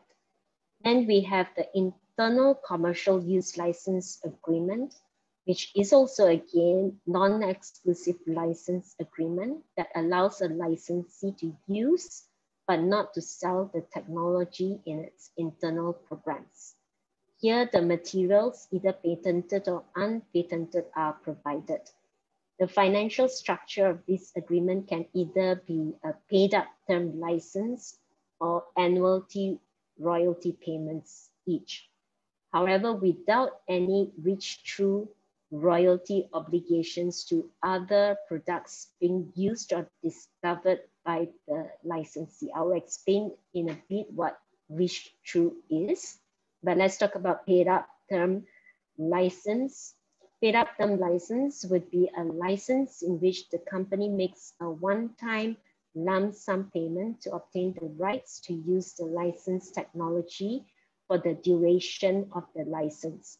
On the other hand, reach-through royalty provisions in a license agreement creates royalties to the licensor on the future sales of downstream products that are discovered or developed through the use of licensed technology, even though the final end product may not contain the licensed technology. In other words, reach-through royalties are royalties that are due to a licensor, even though manufacture, use, or the sale of the final product does not infringe any patents claiming the licensed technology. Internal commercial use agreements themselves historically have been very popular with medium to large biomedical firms who are eager to acquire reagents um, to speed their internal development programs or to license um, technology that include animal models and receptors. Research product commercialization license agreement, again, is non-exclusive, but allows a licensee to sell products to the research products market. Here, materials either patented or unpatented are also generally provided with smaller firms predominating as licensees. The financial structure of these licenses involve low upfront royalties, but high earned royalty payments, since the materials provided are frequently close or very close to the finished product that is to be sold. Popular research product licensed in this manner include a wide variety of monoclonal, polyclonal antibodies or other research materials used in basic research.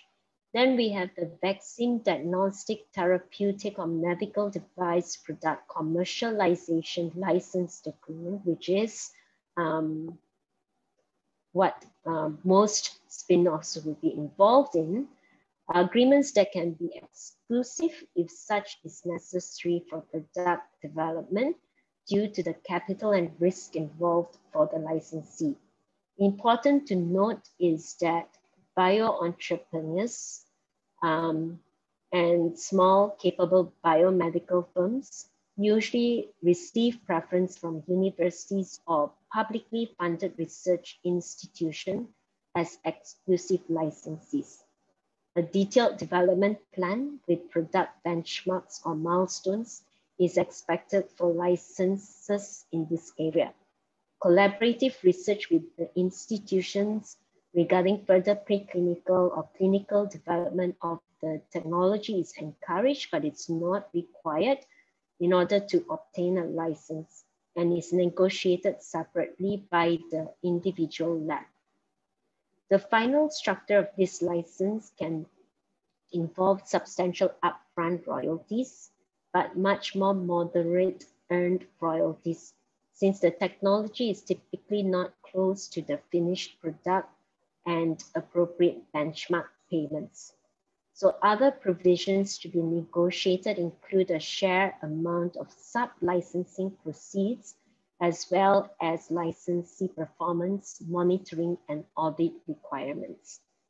Inter-institutional agreements are often used for exclusive licensing as many commercialized technologies will often have inventors from more than one university or research institution due to the ongoing collaboration. So if a bio entrepreneur is seeking to obtain an exclusive commercialization license to a technology to, due to the level of investment or risk involved, it is important to obtain the rights from all the institutions involved, especially for patent rights, as all owners have this ability to license separately. Thankfully, um, the joint owners most often um, than not um, of this single technology will pool their rights with a single party for patent and licensing purposes through an inter-institutional agreement.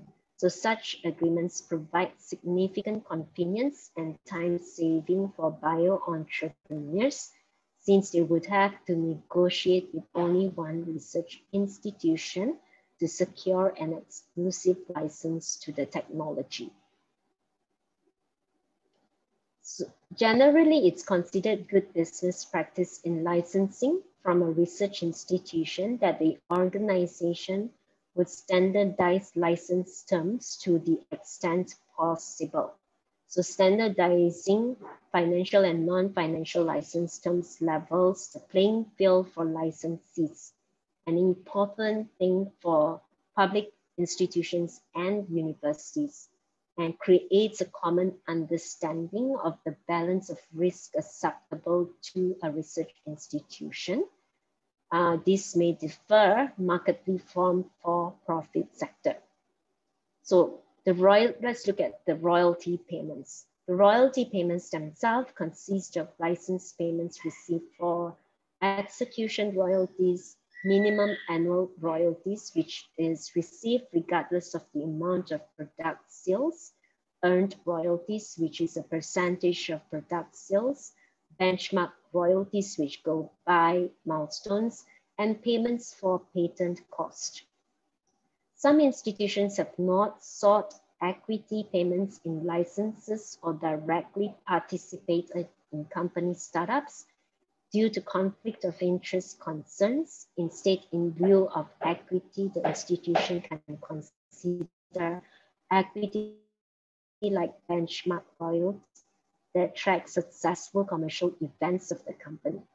However, many do take equity payments in their license agreement as a way to assist the new startup companies, even though there is considerable risk in accepting equity in lieu of cash payments since such equity is illiquid and has no present value at the time license is executed. So licensing institution will often opt to take an equity or equity-like position when available from the licensees for several reasons. So one is that equity would provide for additional revenue in addition to the licensing royalties, especially if the licensed product failed in development, but the company itself later becomes successful, and it happens. Equity can also be seen as a risk premium for research institution that provides additional inducement to grant the license to a new startup company versus a more established firm.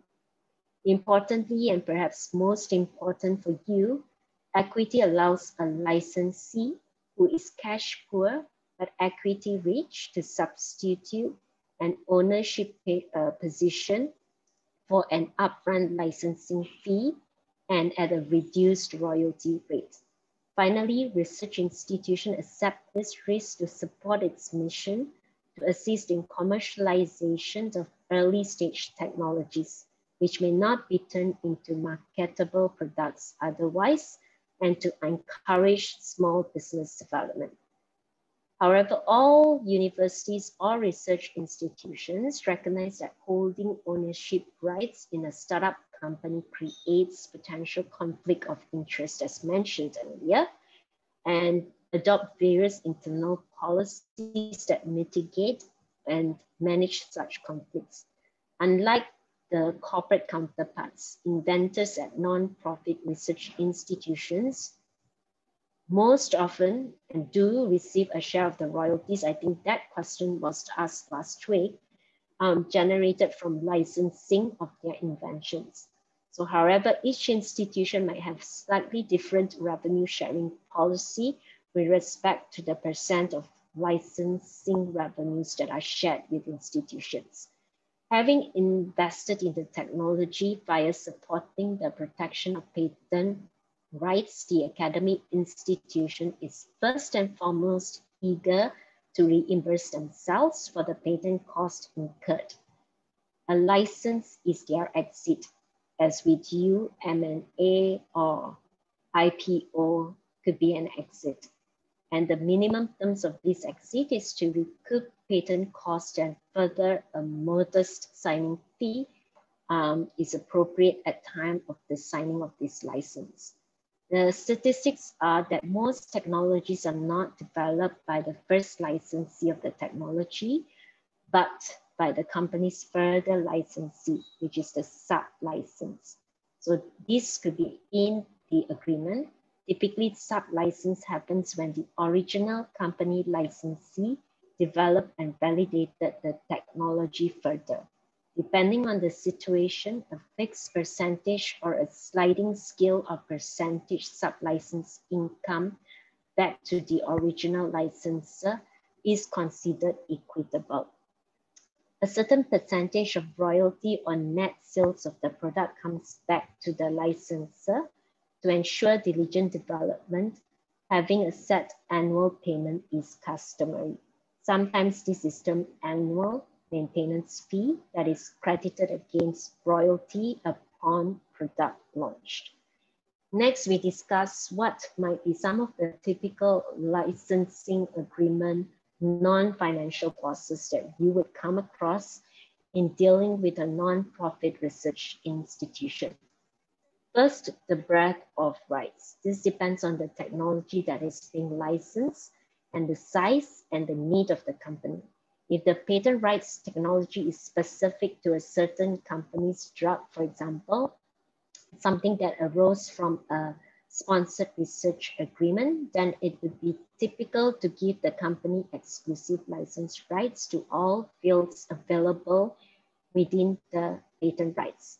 For diagnostic technologies, the trend is to grant non-exclusive rights to the technology if possible, but with an eye towards incentivizing the companies to invest into developing the technology.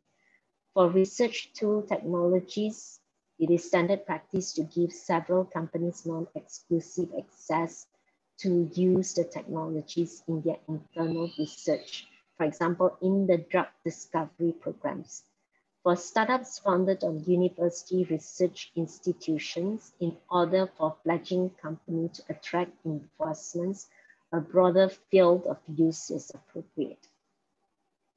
Academic centers are required to reserve rights for their continued use of the technology for further research. So typically the academic center reserves rights not only for its own use, but also for the research use of other academic centers. So for instance, the hospital, this uh, for hospitals, this would include clinical research use as well science, since patient care is part of the institution mission.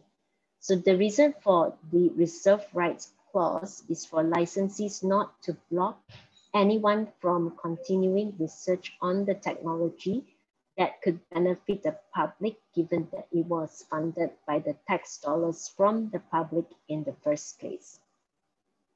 Patents rights um, enforceability. Patent rights are enforced by the owner or in cooperation from the owner. So let's say if an infringer of the technology is hurting the market share of a licensee. As the patent owner, meaning the universities or research institutions, they will be affected since the patent licensee is affected. Typically, exclusive licensees seek to get first right to go after the infringers, but these actions by the licensees might drag the uh, technology transfer officers into lawsuits and potential invalidation of the patent claims. So academic centers do not have the appetite for lawsuits. A common approach is therefore to have the first right to pursue infringers when informed by the licensees by to encourage them to take a license um, from the licensees. Failing which, then it's typical to have the licensee pursue the infringers.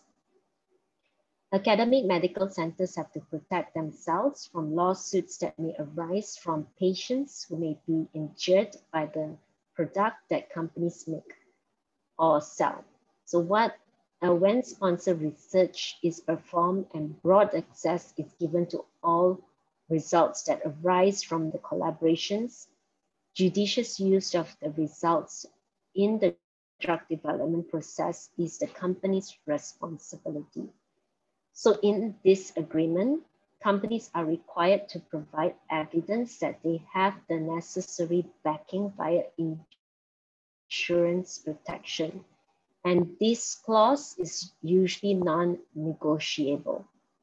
Then conflict of interest is another one, which is very significant and a real issue, particularly for teaching hospitals, academic medical centers, and research institutions that are doing both clinical and basic research. Conflicts are managed by ensuring that at the time of the licensing of inventions to a company related to a certain drug, the medical center does not have any sponsored research collaboration on the same drug with the same investigator whose invention or technology was licensed. Also, the investigator cannot consult for the company whose drugs are in clinical trials under his or her guidance. Now, let's go to out licensing since we've gone through the in licensing um, which is either considered, um, so out licensing um, um, has been used um, by startups as a means of cash flow generation and at times as a form of business model for the firm. Um, there are two common strategies used. One is front loading and the other one is back loading. The difference between front and back loading lies in the risk and rewards. Risk is taken at the beginning for backloading in return for higher rewards in terms of upfront and milestone payments and royalty at a later time.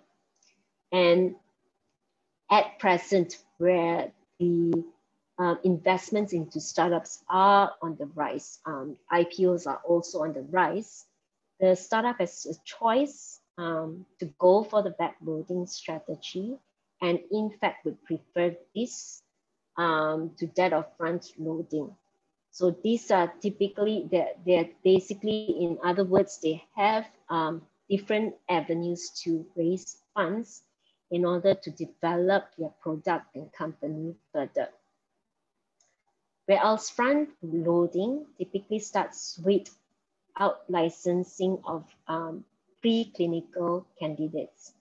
Um, backloading comes into play when a startup intends to expand outside of its own country.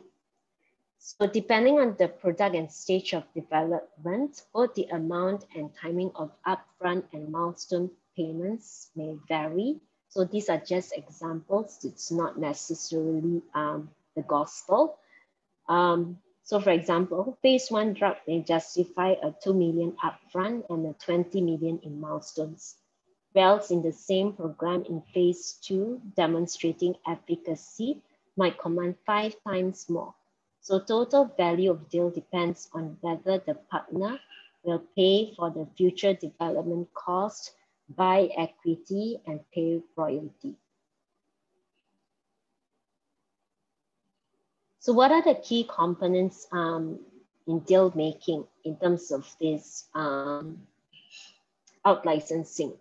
The cost of running an R&D program can be significant and it helps to have a partner cover all of parts of the expenses. That's the motivation for out licensing, including cost of in-house labors and outsourcing expenses, process and clinical development. Some may too quickly agree to work for their partners in exchange for little more than having their expense reimbursed due to being eager for validation of their technology or generating revenue. Such arrangements are, in fact, just profit neutral, not hurting but not helping your bottom line. Companies that neglect to partake in significant upside of drug sales may in fact become just a little more than the CRO, which is covering their costs but not generating levels of profit to justify the high valuation, and also considering management benefits. Partnerships involving research sponsorships, while profit neutral, may distract management from their ambitious goals. A research sponsorship gives company doing R&D little incentive to be more efficient since cost savings are enjoyed by the paying partner, not you. Instead, an alternative to counting um, the FTEs is to negotiate a success-based milestone which rewards efficiency. A new partner may make an equity investment in a smaller company and as a form of payment Usually valuation of the stocks is inflated relative to what ordinary investors would pay for, since the new partner is getting more than just the stock out this deal.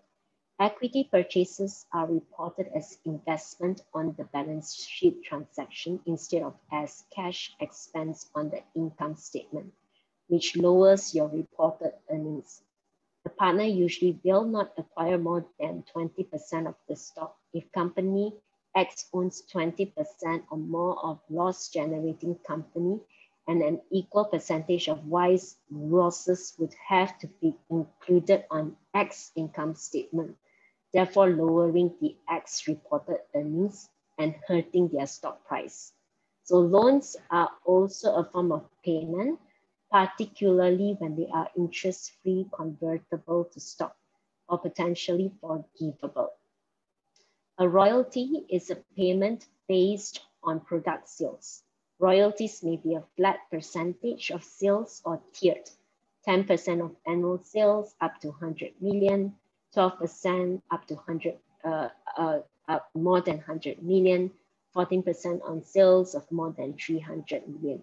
So you'll see that kind of tiered um, percentage. Compared to marketing on drug, one advantage of receiving sales-based royalties from partner is that you get paid even when the drug is not yet generating profits.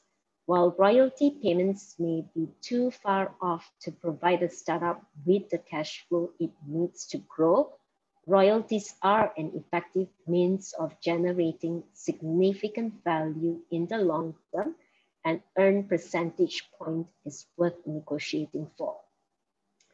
Royalties are also larger than they seem. Um, for example, a typical phase two stage deal may include a 10% royalty on worldwide sales with the pharma company covering your future expenses. Therefore, when the drug is generating $500 million a year, the pharma company will keep the 450 million and give you the 50 million. However, after manufacturing, sales, and other expenses, the pharma company may be left with just 250 million, which would mean that um, your company's 10% sale-based royalty in fact represents 20% profits. One rarely see licensing agreement which the marketing company pays the developer a royalty in excess of 30%. This is because royalty that is 30% of sales would roughly be equivalent to 50% of profits.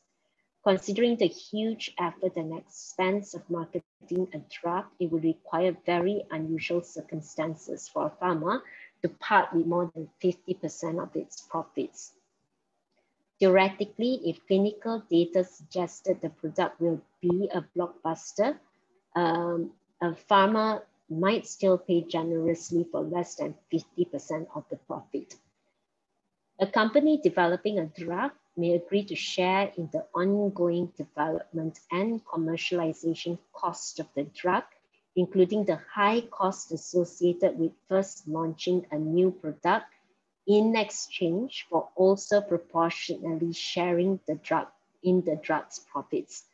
This means that both partners accept the risk that the drug might never be approved or become profitable. However, just because two companies enter into profit sharing does not mean that the company that discovered and partially developed the drug will not be paid upfront fees and milestones. In fact, these payments from partner may be what allows the company to shoulder its share of the ongoing commercialization cost. FDA regulations concerning GMP of drugs are very strict as we know it, and a factory that fails an inspection may be promptly shut down, possibly resulting in product recall and millions of dollars lost in sales. Therefore, usually the big pharma are generally hesitant to trust inexperienced biotech companies with manufacturing and will negotiate for this right during partnership discussion. Since manufacturing drug is a step towards maturity and full integration, young companies may try to retain the rights eventually to manufacture the drug and sell it at a slight markup to the marketing partner. While often used interchangeably, there is a fundamental difference between co-promotion and co-marketing. If two companies agree to co-promote a drug, this means that both will deploy their sales force collaboratively to sell a drug under a single brand name. When co-marketing, each will sell the drug under a different brand name as if they were two entirely different drugs and may avoid competing with each other by targeting different markets. Co-marketing arrangements are rare. Amgen sells this compound as Epogen in the US for renal market license to J&J that sells as Procrit for other indications, notably cancer in the US and for all indications outside of the US. This kind of arrangement may lead to squabbles um, whenever one appears to encroach on the other's territory. Co-promotion arrangements, on the other hand, are not uncommon and make sense if one company lacks the sales force to penetrate a market to which another company could sell effectively. So for example, while a biotech company developing a drug for overactive bladder might build its own 100% sales force to target 12,000 uh, urologists. Um, the same company would be hard pressed to build a 3,000 person sales force to market this drug to hundreds of thousands of primary care physicians. So therefore, the biotech company might uh, partner with a pharma giant that could target this um, uh, larger market while allowing the biotech company to co-promote the drug to smaller and more tractable urology market. Most importantly, the bigger partner will cover the cost of the smaller company hiring and maintaining its sales force. Biotech company may prefer um, co-promotion that involves sharing of sales revenue and expenses essentially profit sharing, rather than royalty paying deals.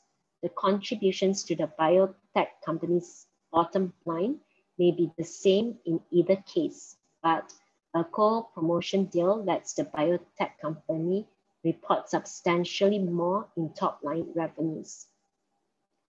Booking top line sales of a drug product is considered more prestigious than merely collecting royalties, in other words. The former is indicative of a more mature company with sales and marketing capabilities. However, do note that not all co-promotion allow both partners to book sales to their respective top lines. In many cases, all sales will be credited to the bigger partner who then pays royalties to the smaller biotech company. The biotech is paid equally whether it co-promotes the drug or just lets the partner handle sales. However, by exercising this co-promotion option, you get free sales force that can be leveraged to sell other drugs you are developing or in licensing. Therefore, a co-promotion deal is important um, if you want to take a big step for to mature into a fully integrated company. Some deals between companies involve the, the creation of a third entity, which is a joint venture, which may be nothing more than a paper company to which each partner owns a portion. The JV may be funded by the bigger partner, or it may be funded by both and would have scientific and admin staff from one of the partner or maybe both and may receive licenses to each of the partner's relevant tech. For example, the larger partner may agree to pay for all the work being done by the JV. The JV may in turn make payments to the smaller partner for the use of its people, equipment, lab space, and IP.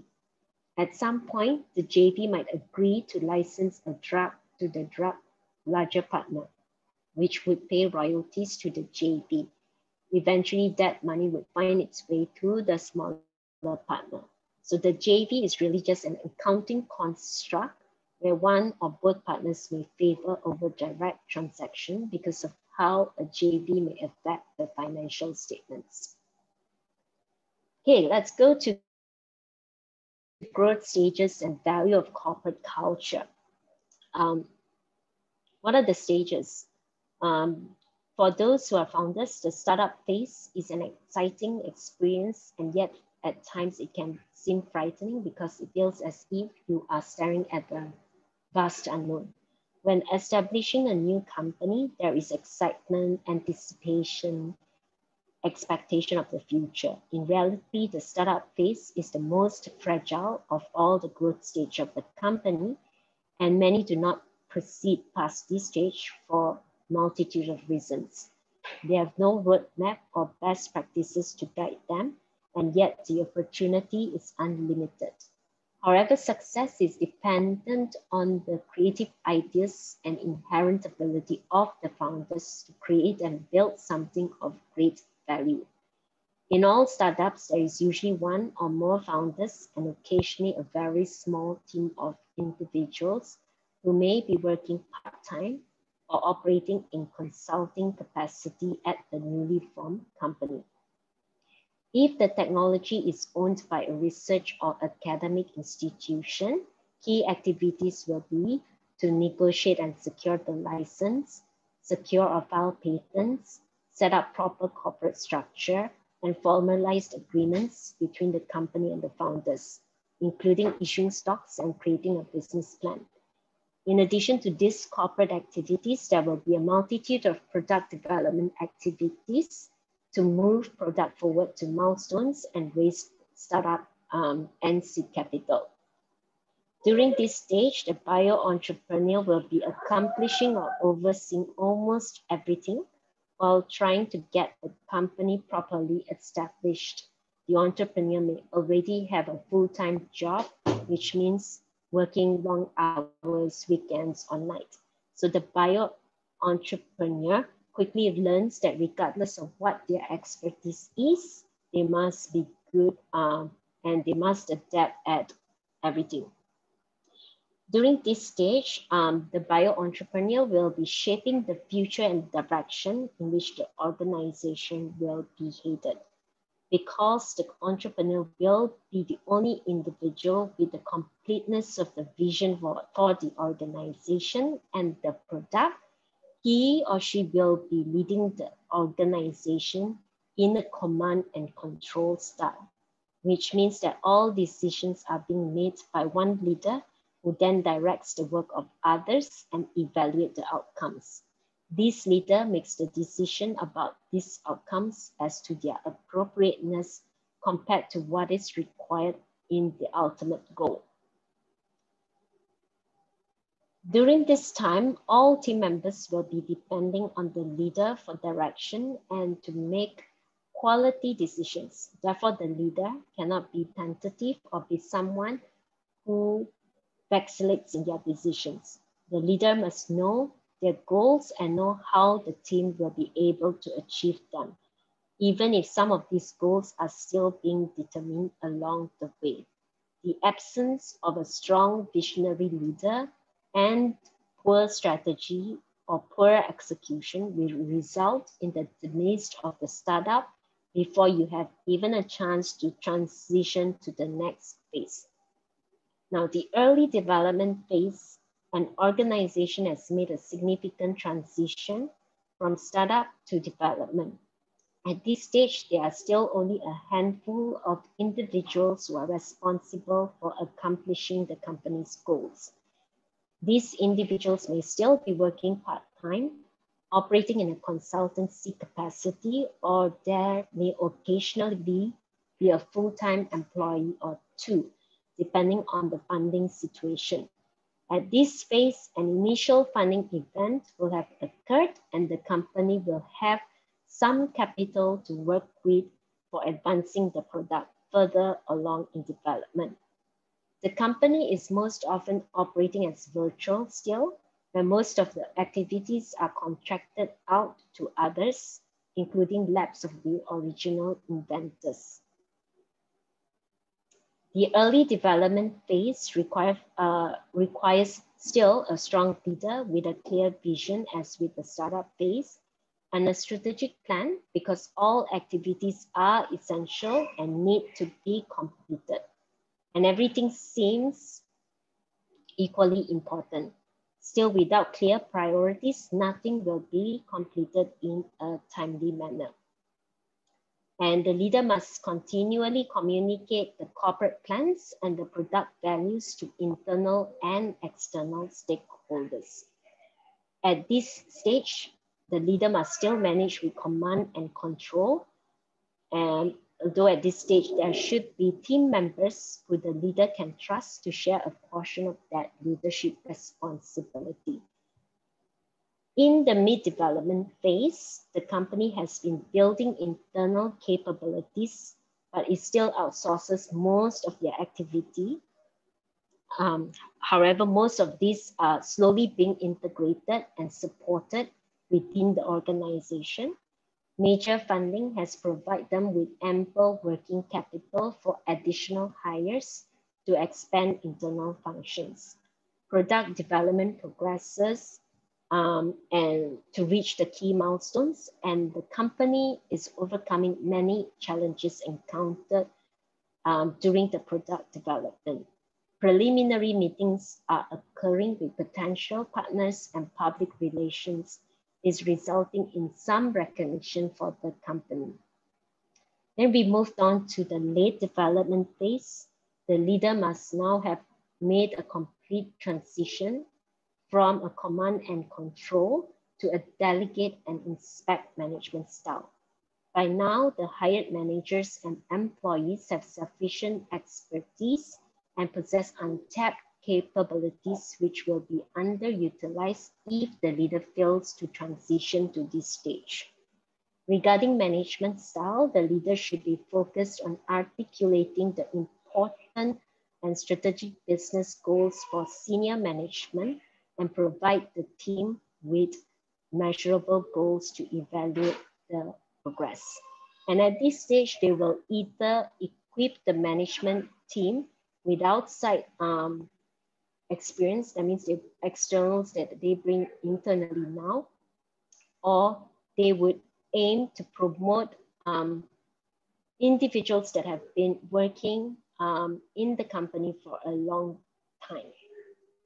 So one of the reasons why we want to do this kind of um, internal promotion is that by now the individuals whom a leader manages usually would possess more knowledge and understanding about a problem or situation than the leader themselves. Therefore, these individuals are the ones that are best to make certain decisions. And this is true for all levels and departments. So if the management style does not transition, employees become ineffective and usually would find non-productive activities to occupy their unused capacity, or more often than not, they will leave to find more challenging positions or employment. Now, we've reached the early expansion stage. Um, it's where you have successfully passed the hurdles of product development and have received regulatory approval in most cases, and now are manufacturing the product and expanding the market for the product. By now, the company will have made some mistakes along the way, but none have been beyond repair, and these are corrected quickly.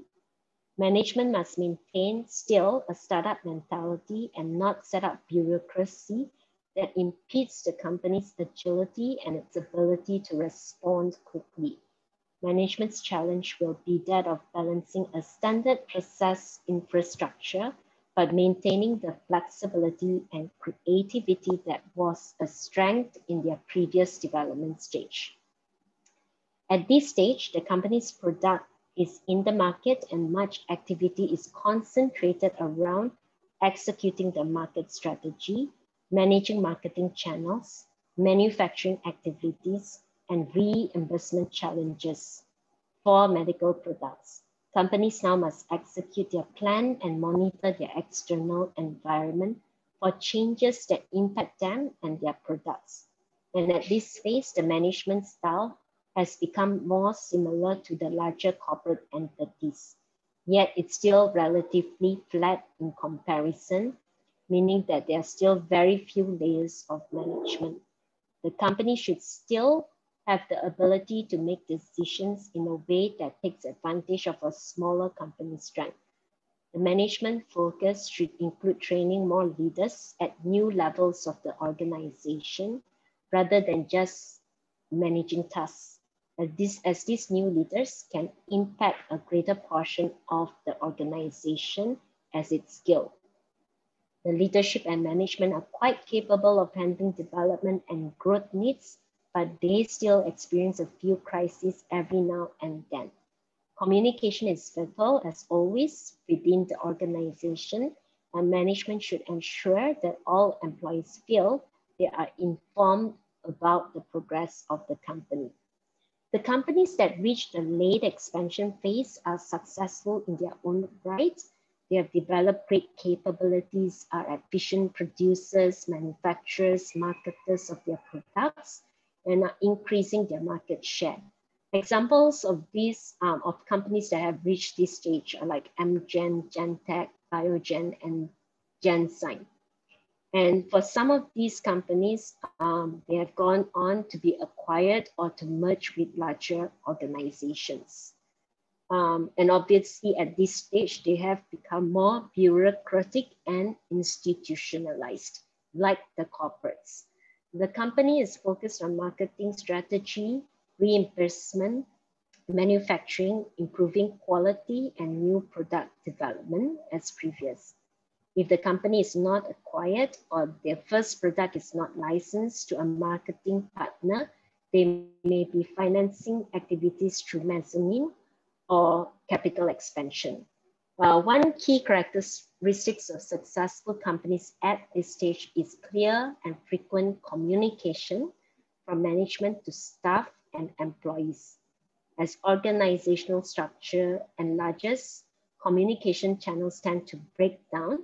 When this occurs, corporate communication problems begin. The absence of information can cause employees to think and presume information that may or may not be true. So several things can help a successful transition through this stage. One activity is frequent and meaningful communications between the leader, the senior staff, and all levels of organizations. Now, at the decline phase, this happens when a company fails to move ahead of its competition um, or when they struggle during the late expansion phase and fail to continuously innovate while facing internal and external challenges. So obvious signs of a decline is the decrease in sales and profitability and high attrition rate. Now let's look at the funding stages. The average amount of capital raised during each funding stage can vary greatly within each biotech industry. The amount of money that is raised during any stage is influenced by various factors, right? Um, such as the market size, the technology, product, the team running it, um, and also obviously the buyer, um, buyer's motivation, uh, the, sorry, the investor's motivation. So the type of product being developed um, as well. So let's look at this, right? Um, therapeutics, biologics, and vaccines would generally require greater amounts of capital during each round than do most medical diagnostic medical devices, point of care, um, laboratory retest um, startups. These companies developing the former products will be raising larger amounts of capital in each round compared to the later group. How much one can raise depends on the financial markets interest, as I said, motivation, and in the disease segment, as in the market, at the time of raising capital. Investors' interest in certain disease um, segments changes over time. So in the past, for example, it was antisense DNA um, as well as antisepsis therapeutics. In most recent year, it was genomics, proteomics, RNAi, and in these last few years, CRISPR and AI, uh, drug discovery and diagnostic. So the success and failure of similar predecessor products influence the value placed on the company and affect the eagerness of the investors to fund these companies. Um, the strength of the IPO and acquisition um, is also another thing um, that would be determined at the time of raising capital and it will definitely impact the startup's ability to raise funds. When financial markets as a whole increase or decline, it impacts the amount of money that can be raised for any development stage company. Be aware that general condition of the economy and financial markets can thus impact the amount of capital you raise at any one time. Now let's look at corporate culture in brief. Every company is unique uh, in their culture. That's because of the mix of employee, the manner in which um, one conducts a business. So you can say that each company has a personality of its own. Typically, the collective characteristics of a company are referred to as corporate culture. A company's culture is tangible, meaning that outsiders and uh, customers can sense a real difference between one company's employees and those of another. So for instance, one company may have a culture of um, innovation, excitement, and collaboration, and of motivating employees to ignore the traditional work hours and do whatever is necessary to get a job done. So you see this more often in tech um, startups. And then you have another company that uh, is a minimalist culture that where the, uh, the employees um, go back uh, uh in time and do only what is required based on their job description. So it, um, your corporate culture will be a strength or a weakness. Every company encounters problems and challenges, and it seems like biotech companies have more than their fair share of them. We'll see some uh, one example of that. But the corporate culture of a company is a good predictor of the ability to overcome crisis. For a biotech startup, developing corporate culture may not seem like a high priority compared to the other things that you need to do from product development, regulations, uh, finding money, hiring teams, right? But it is still critical to pay attention to the development of culture because at some point the company reaches a critical mass. And like concrete, the culture of the organization is set a company may temporarily ignore the development of a corporate culture without much consequence, but at some point, this will impact the ability to effectively accomplish objectives, and especially as the company grows larger. So one thing is certain, there will be a company culture, whether by design or default. Every company's corporate culture is different and there is no universal culture that is optimal for everyone. So you need to choose to purposefully create a culture that adds strengths rather than on that is divisive or detrimental to progress. As previous, um, so as previously discussed, all companies will transition through different phases of growth and everything does not always work out exactly as planned. Internal and external changes and adjustments are inevitable as a company grows. Your corporate culture will be a help or hindrance in overcoming, uh, overcoming these challenges in product development and organizational growth. But fortunately, most of you will begin with an entrepreneurial culture that is energetic, creative, and persevering. Now, every individual would define the corporate culture and core values as you can see in the slide. An organizational strength is the sum total of all these individual strengths. And each employee makes decisions based upon their own knowledge and the core values. And employees with a core value of mutual respect for others does not think about how they may leave an unfinished task for another employee to complete. Someone with a core value of acceptance or responsibility for one's actions will admit mistakes rather than cover it up or blame someone else. So we will see this um, in the Tylenol, Tylenol example later. So it's important because what seems minor, but if you add up the hundreds to thousands of employees, then this becomes the prevailing culture of the organization. So values that are demonstrated to apply um, to senior management will be reinforced, embraced, and even respected by all employees. So senior management should be an example throughout the organization. Core values can be thought of as the seeds of the organization's future. The selection and incorporation of a particular set of core values will bear the fruit innate to those values.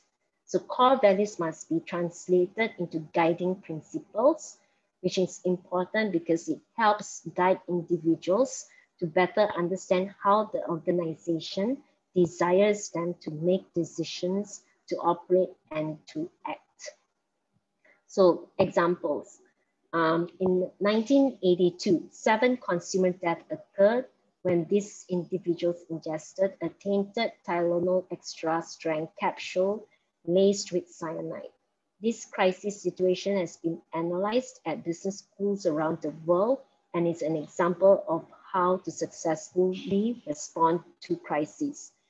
Um, so Ortho-McNeil, which is a Johnson & Johnson company, responded according to their corporate culture of putting first the well-being and needs of the people they serve it was quickly discovered, though, that these capsules were tampered with after they left the manufacturer, and the contamination was no fault of the company.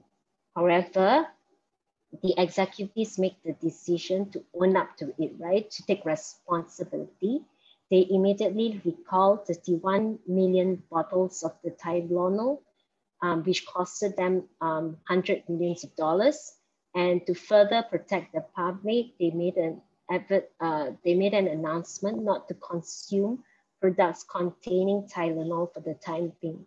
So most interesting is that this type of crisis, crisis management was not really taught to the employees, nor was it rehearsed um, response.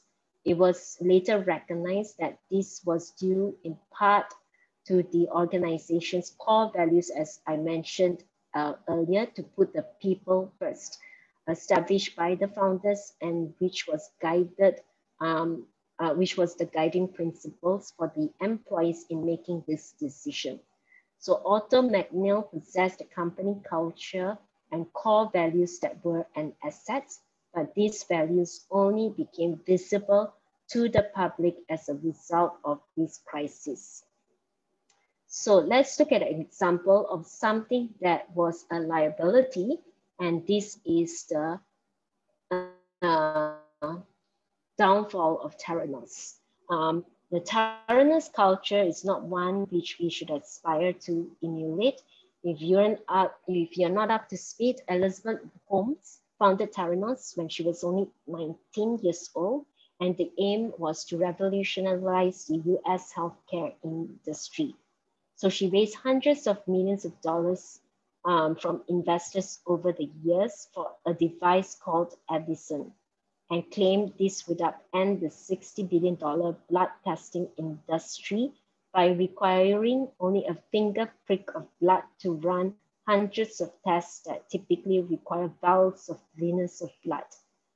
So Holmes even inked a multi-million dollar deal with Walgreens and had all-star board of directors from a former Secretary of State to a Secretary of Defense. And all this while, the company was basking in this glory of Wall Street and global media hype that positioned Holmes as the next Steve Jobs. And at this, at the, at her peak or at their peak, investors valued the company at 9 billion, making her the youngest self-made female billionaire. However, all um, started to go downhill. Um, the problem is because the devices didn't work. Instead, Theranos was using traditional blood testing methods and equipment, uh, and this was not known, in fact, and even sending customers wildly inaccurate test results. So it all came crashing when Wall Street Journal article exposes the problems within Theranos um, which sparked an investigation um, by the regulators. The corporate tale is so compelling, so you should read the, the Bad Blood um, to learn more. But what we want to focus on today is to understand more fully how Holmes was able to sustain for more than a decade such an incredibly toxic culture, which hid the truth. It is important to note that there is a major gap between employees' recognition of the importance of culture and how they experience it daily at work. And this was the case for Theranos, where ethical employees were um, you know, challenged in a culture that was deceiving customers, partners, investors, and regulators. In the staff interviews, um, you'll know that it's um, these employees' actions were shaped by the culture Holmes nurtured, which is a culture of fear. That culture had two main impacts. It either drove, drove the employees out or they were complicit knowingly or unknowingly in the Theranos scam. So Holmes fostered the culture of fear because it serves her needs, not the company's needs, not the public's needs. Early on, experts inside and outside the company questioned the technology. As years went by, whenever the employees or expert raises warnings, Holmes and her enforcers systematically shut down, ignored, bullied, or threatened those who dared to question Theranos. So this is the toxic culture that we do not want to be part of. So some may speculate that the idea could have worked, but there wasn't a productive and honest dialogue or collaboration to work through issues. So knowing that there would be repercussions, lawsuits or getting fired, employees just seem to keep their heads down and go along with the charade, thereby enabling the sham to continue for years. So until, um, until one of them um, acted out as a whistleblower so the perhaps the biggest red flag for the company's culture is when fear is the driving force, um, either on a team or the leadership style. In fact, some of leaders who act on this don't even recognize they are cultivating fear or see the harm in such culture. So ultimately, fear results in bad decisions and hinders success. To understand if fear exists, companies must engage in regular and honest dialogue with employees to understand if there is even a hint of fear in their culture and they probably and that probably means allowing for anonymous input where employees at all levels can openly share their views and concerns. So leaders should carefully watch attrition rates, meaning why employees are leaving. Maybe it's the pay um, or the job is the wrong fit, but sometimes there's a bigger culture issue within the company and ensuring there is a process in place for candidate exit interviews in the first place. Again, this may need to be anonymous. If toxic culture trends are emerging, it's time to diagnose the culture problem and take action. So leaders often shy away from measuring culture because it seems um, uh, they seem to struggle to assess and manage it. And for certain, um, like Holmes, seem intentional about cultivating a culture of fear, and that's likely not the intent of most credible leaders in companies. So, but what if a culture of fear or any other type of unproductive culture that is harmful to your business is taking root? Maybe there's a rogue leader or misaligned team that is permeating the company. It's not a far-fetched idea. So to ensure a healthy culture, leaders must clearly define, promote, assess, and retool the culture as needed. This means making culture someone's job and creating mechanisms to hold every single employee accountable for leading the culture. So that's the end of today's workshop. Um, because of the limit of time, I've uh, told Kim that if you all have any questions, you can email me. Thank you. Thank you, Ross. I will forward Thank the you. questions to you later. Okay, bye.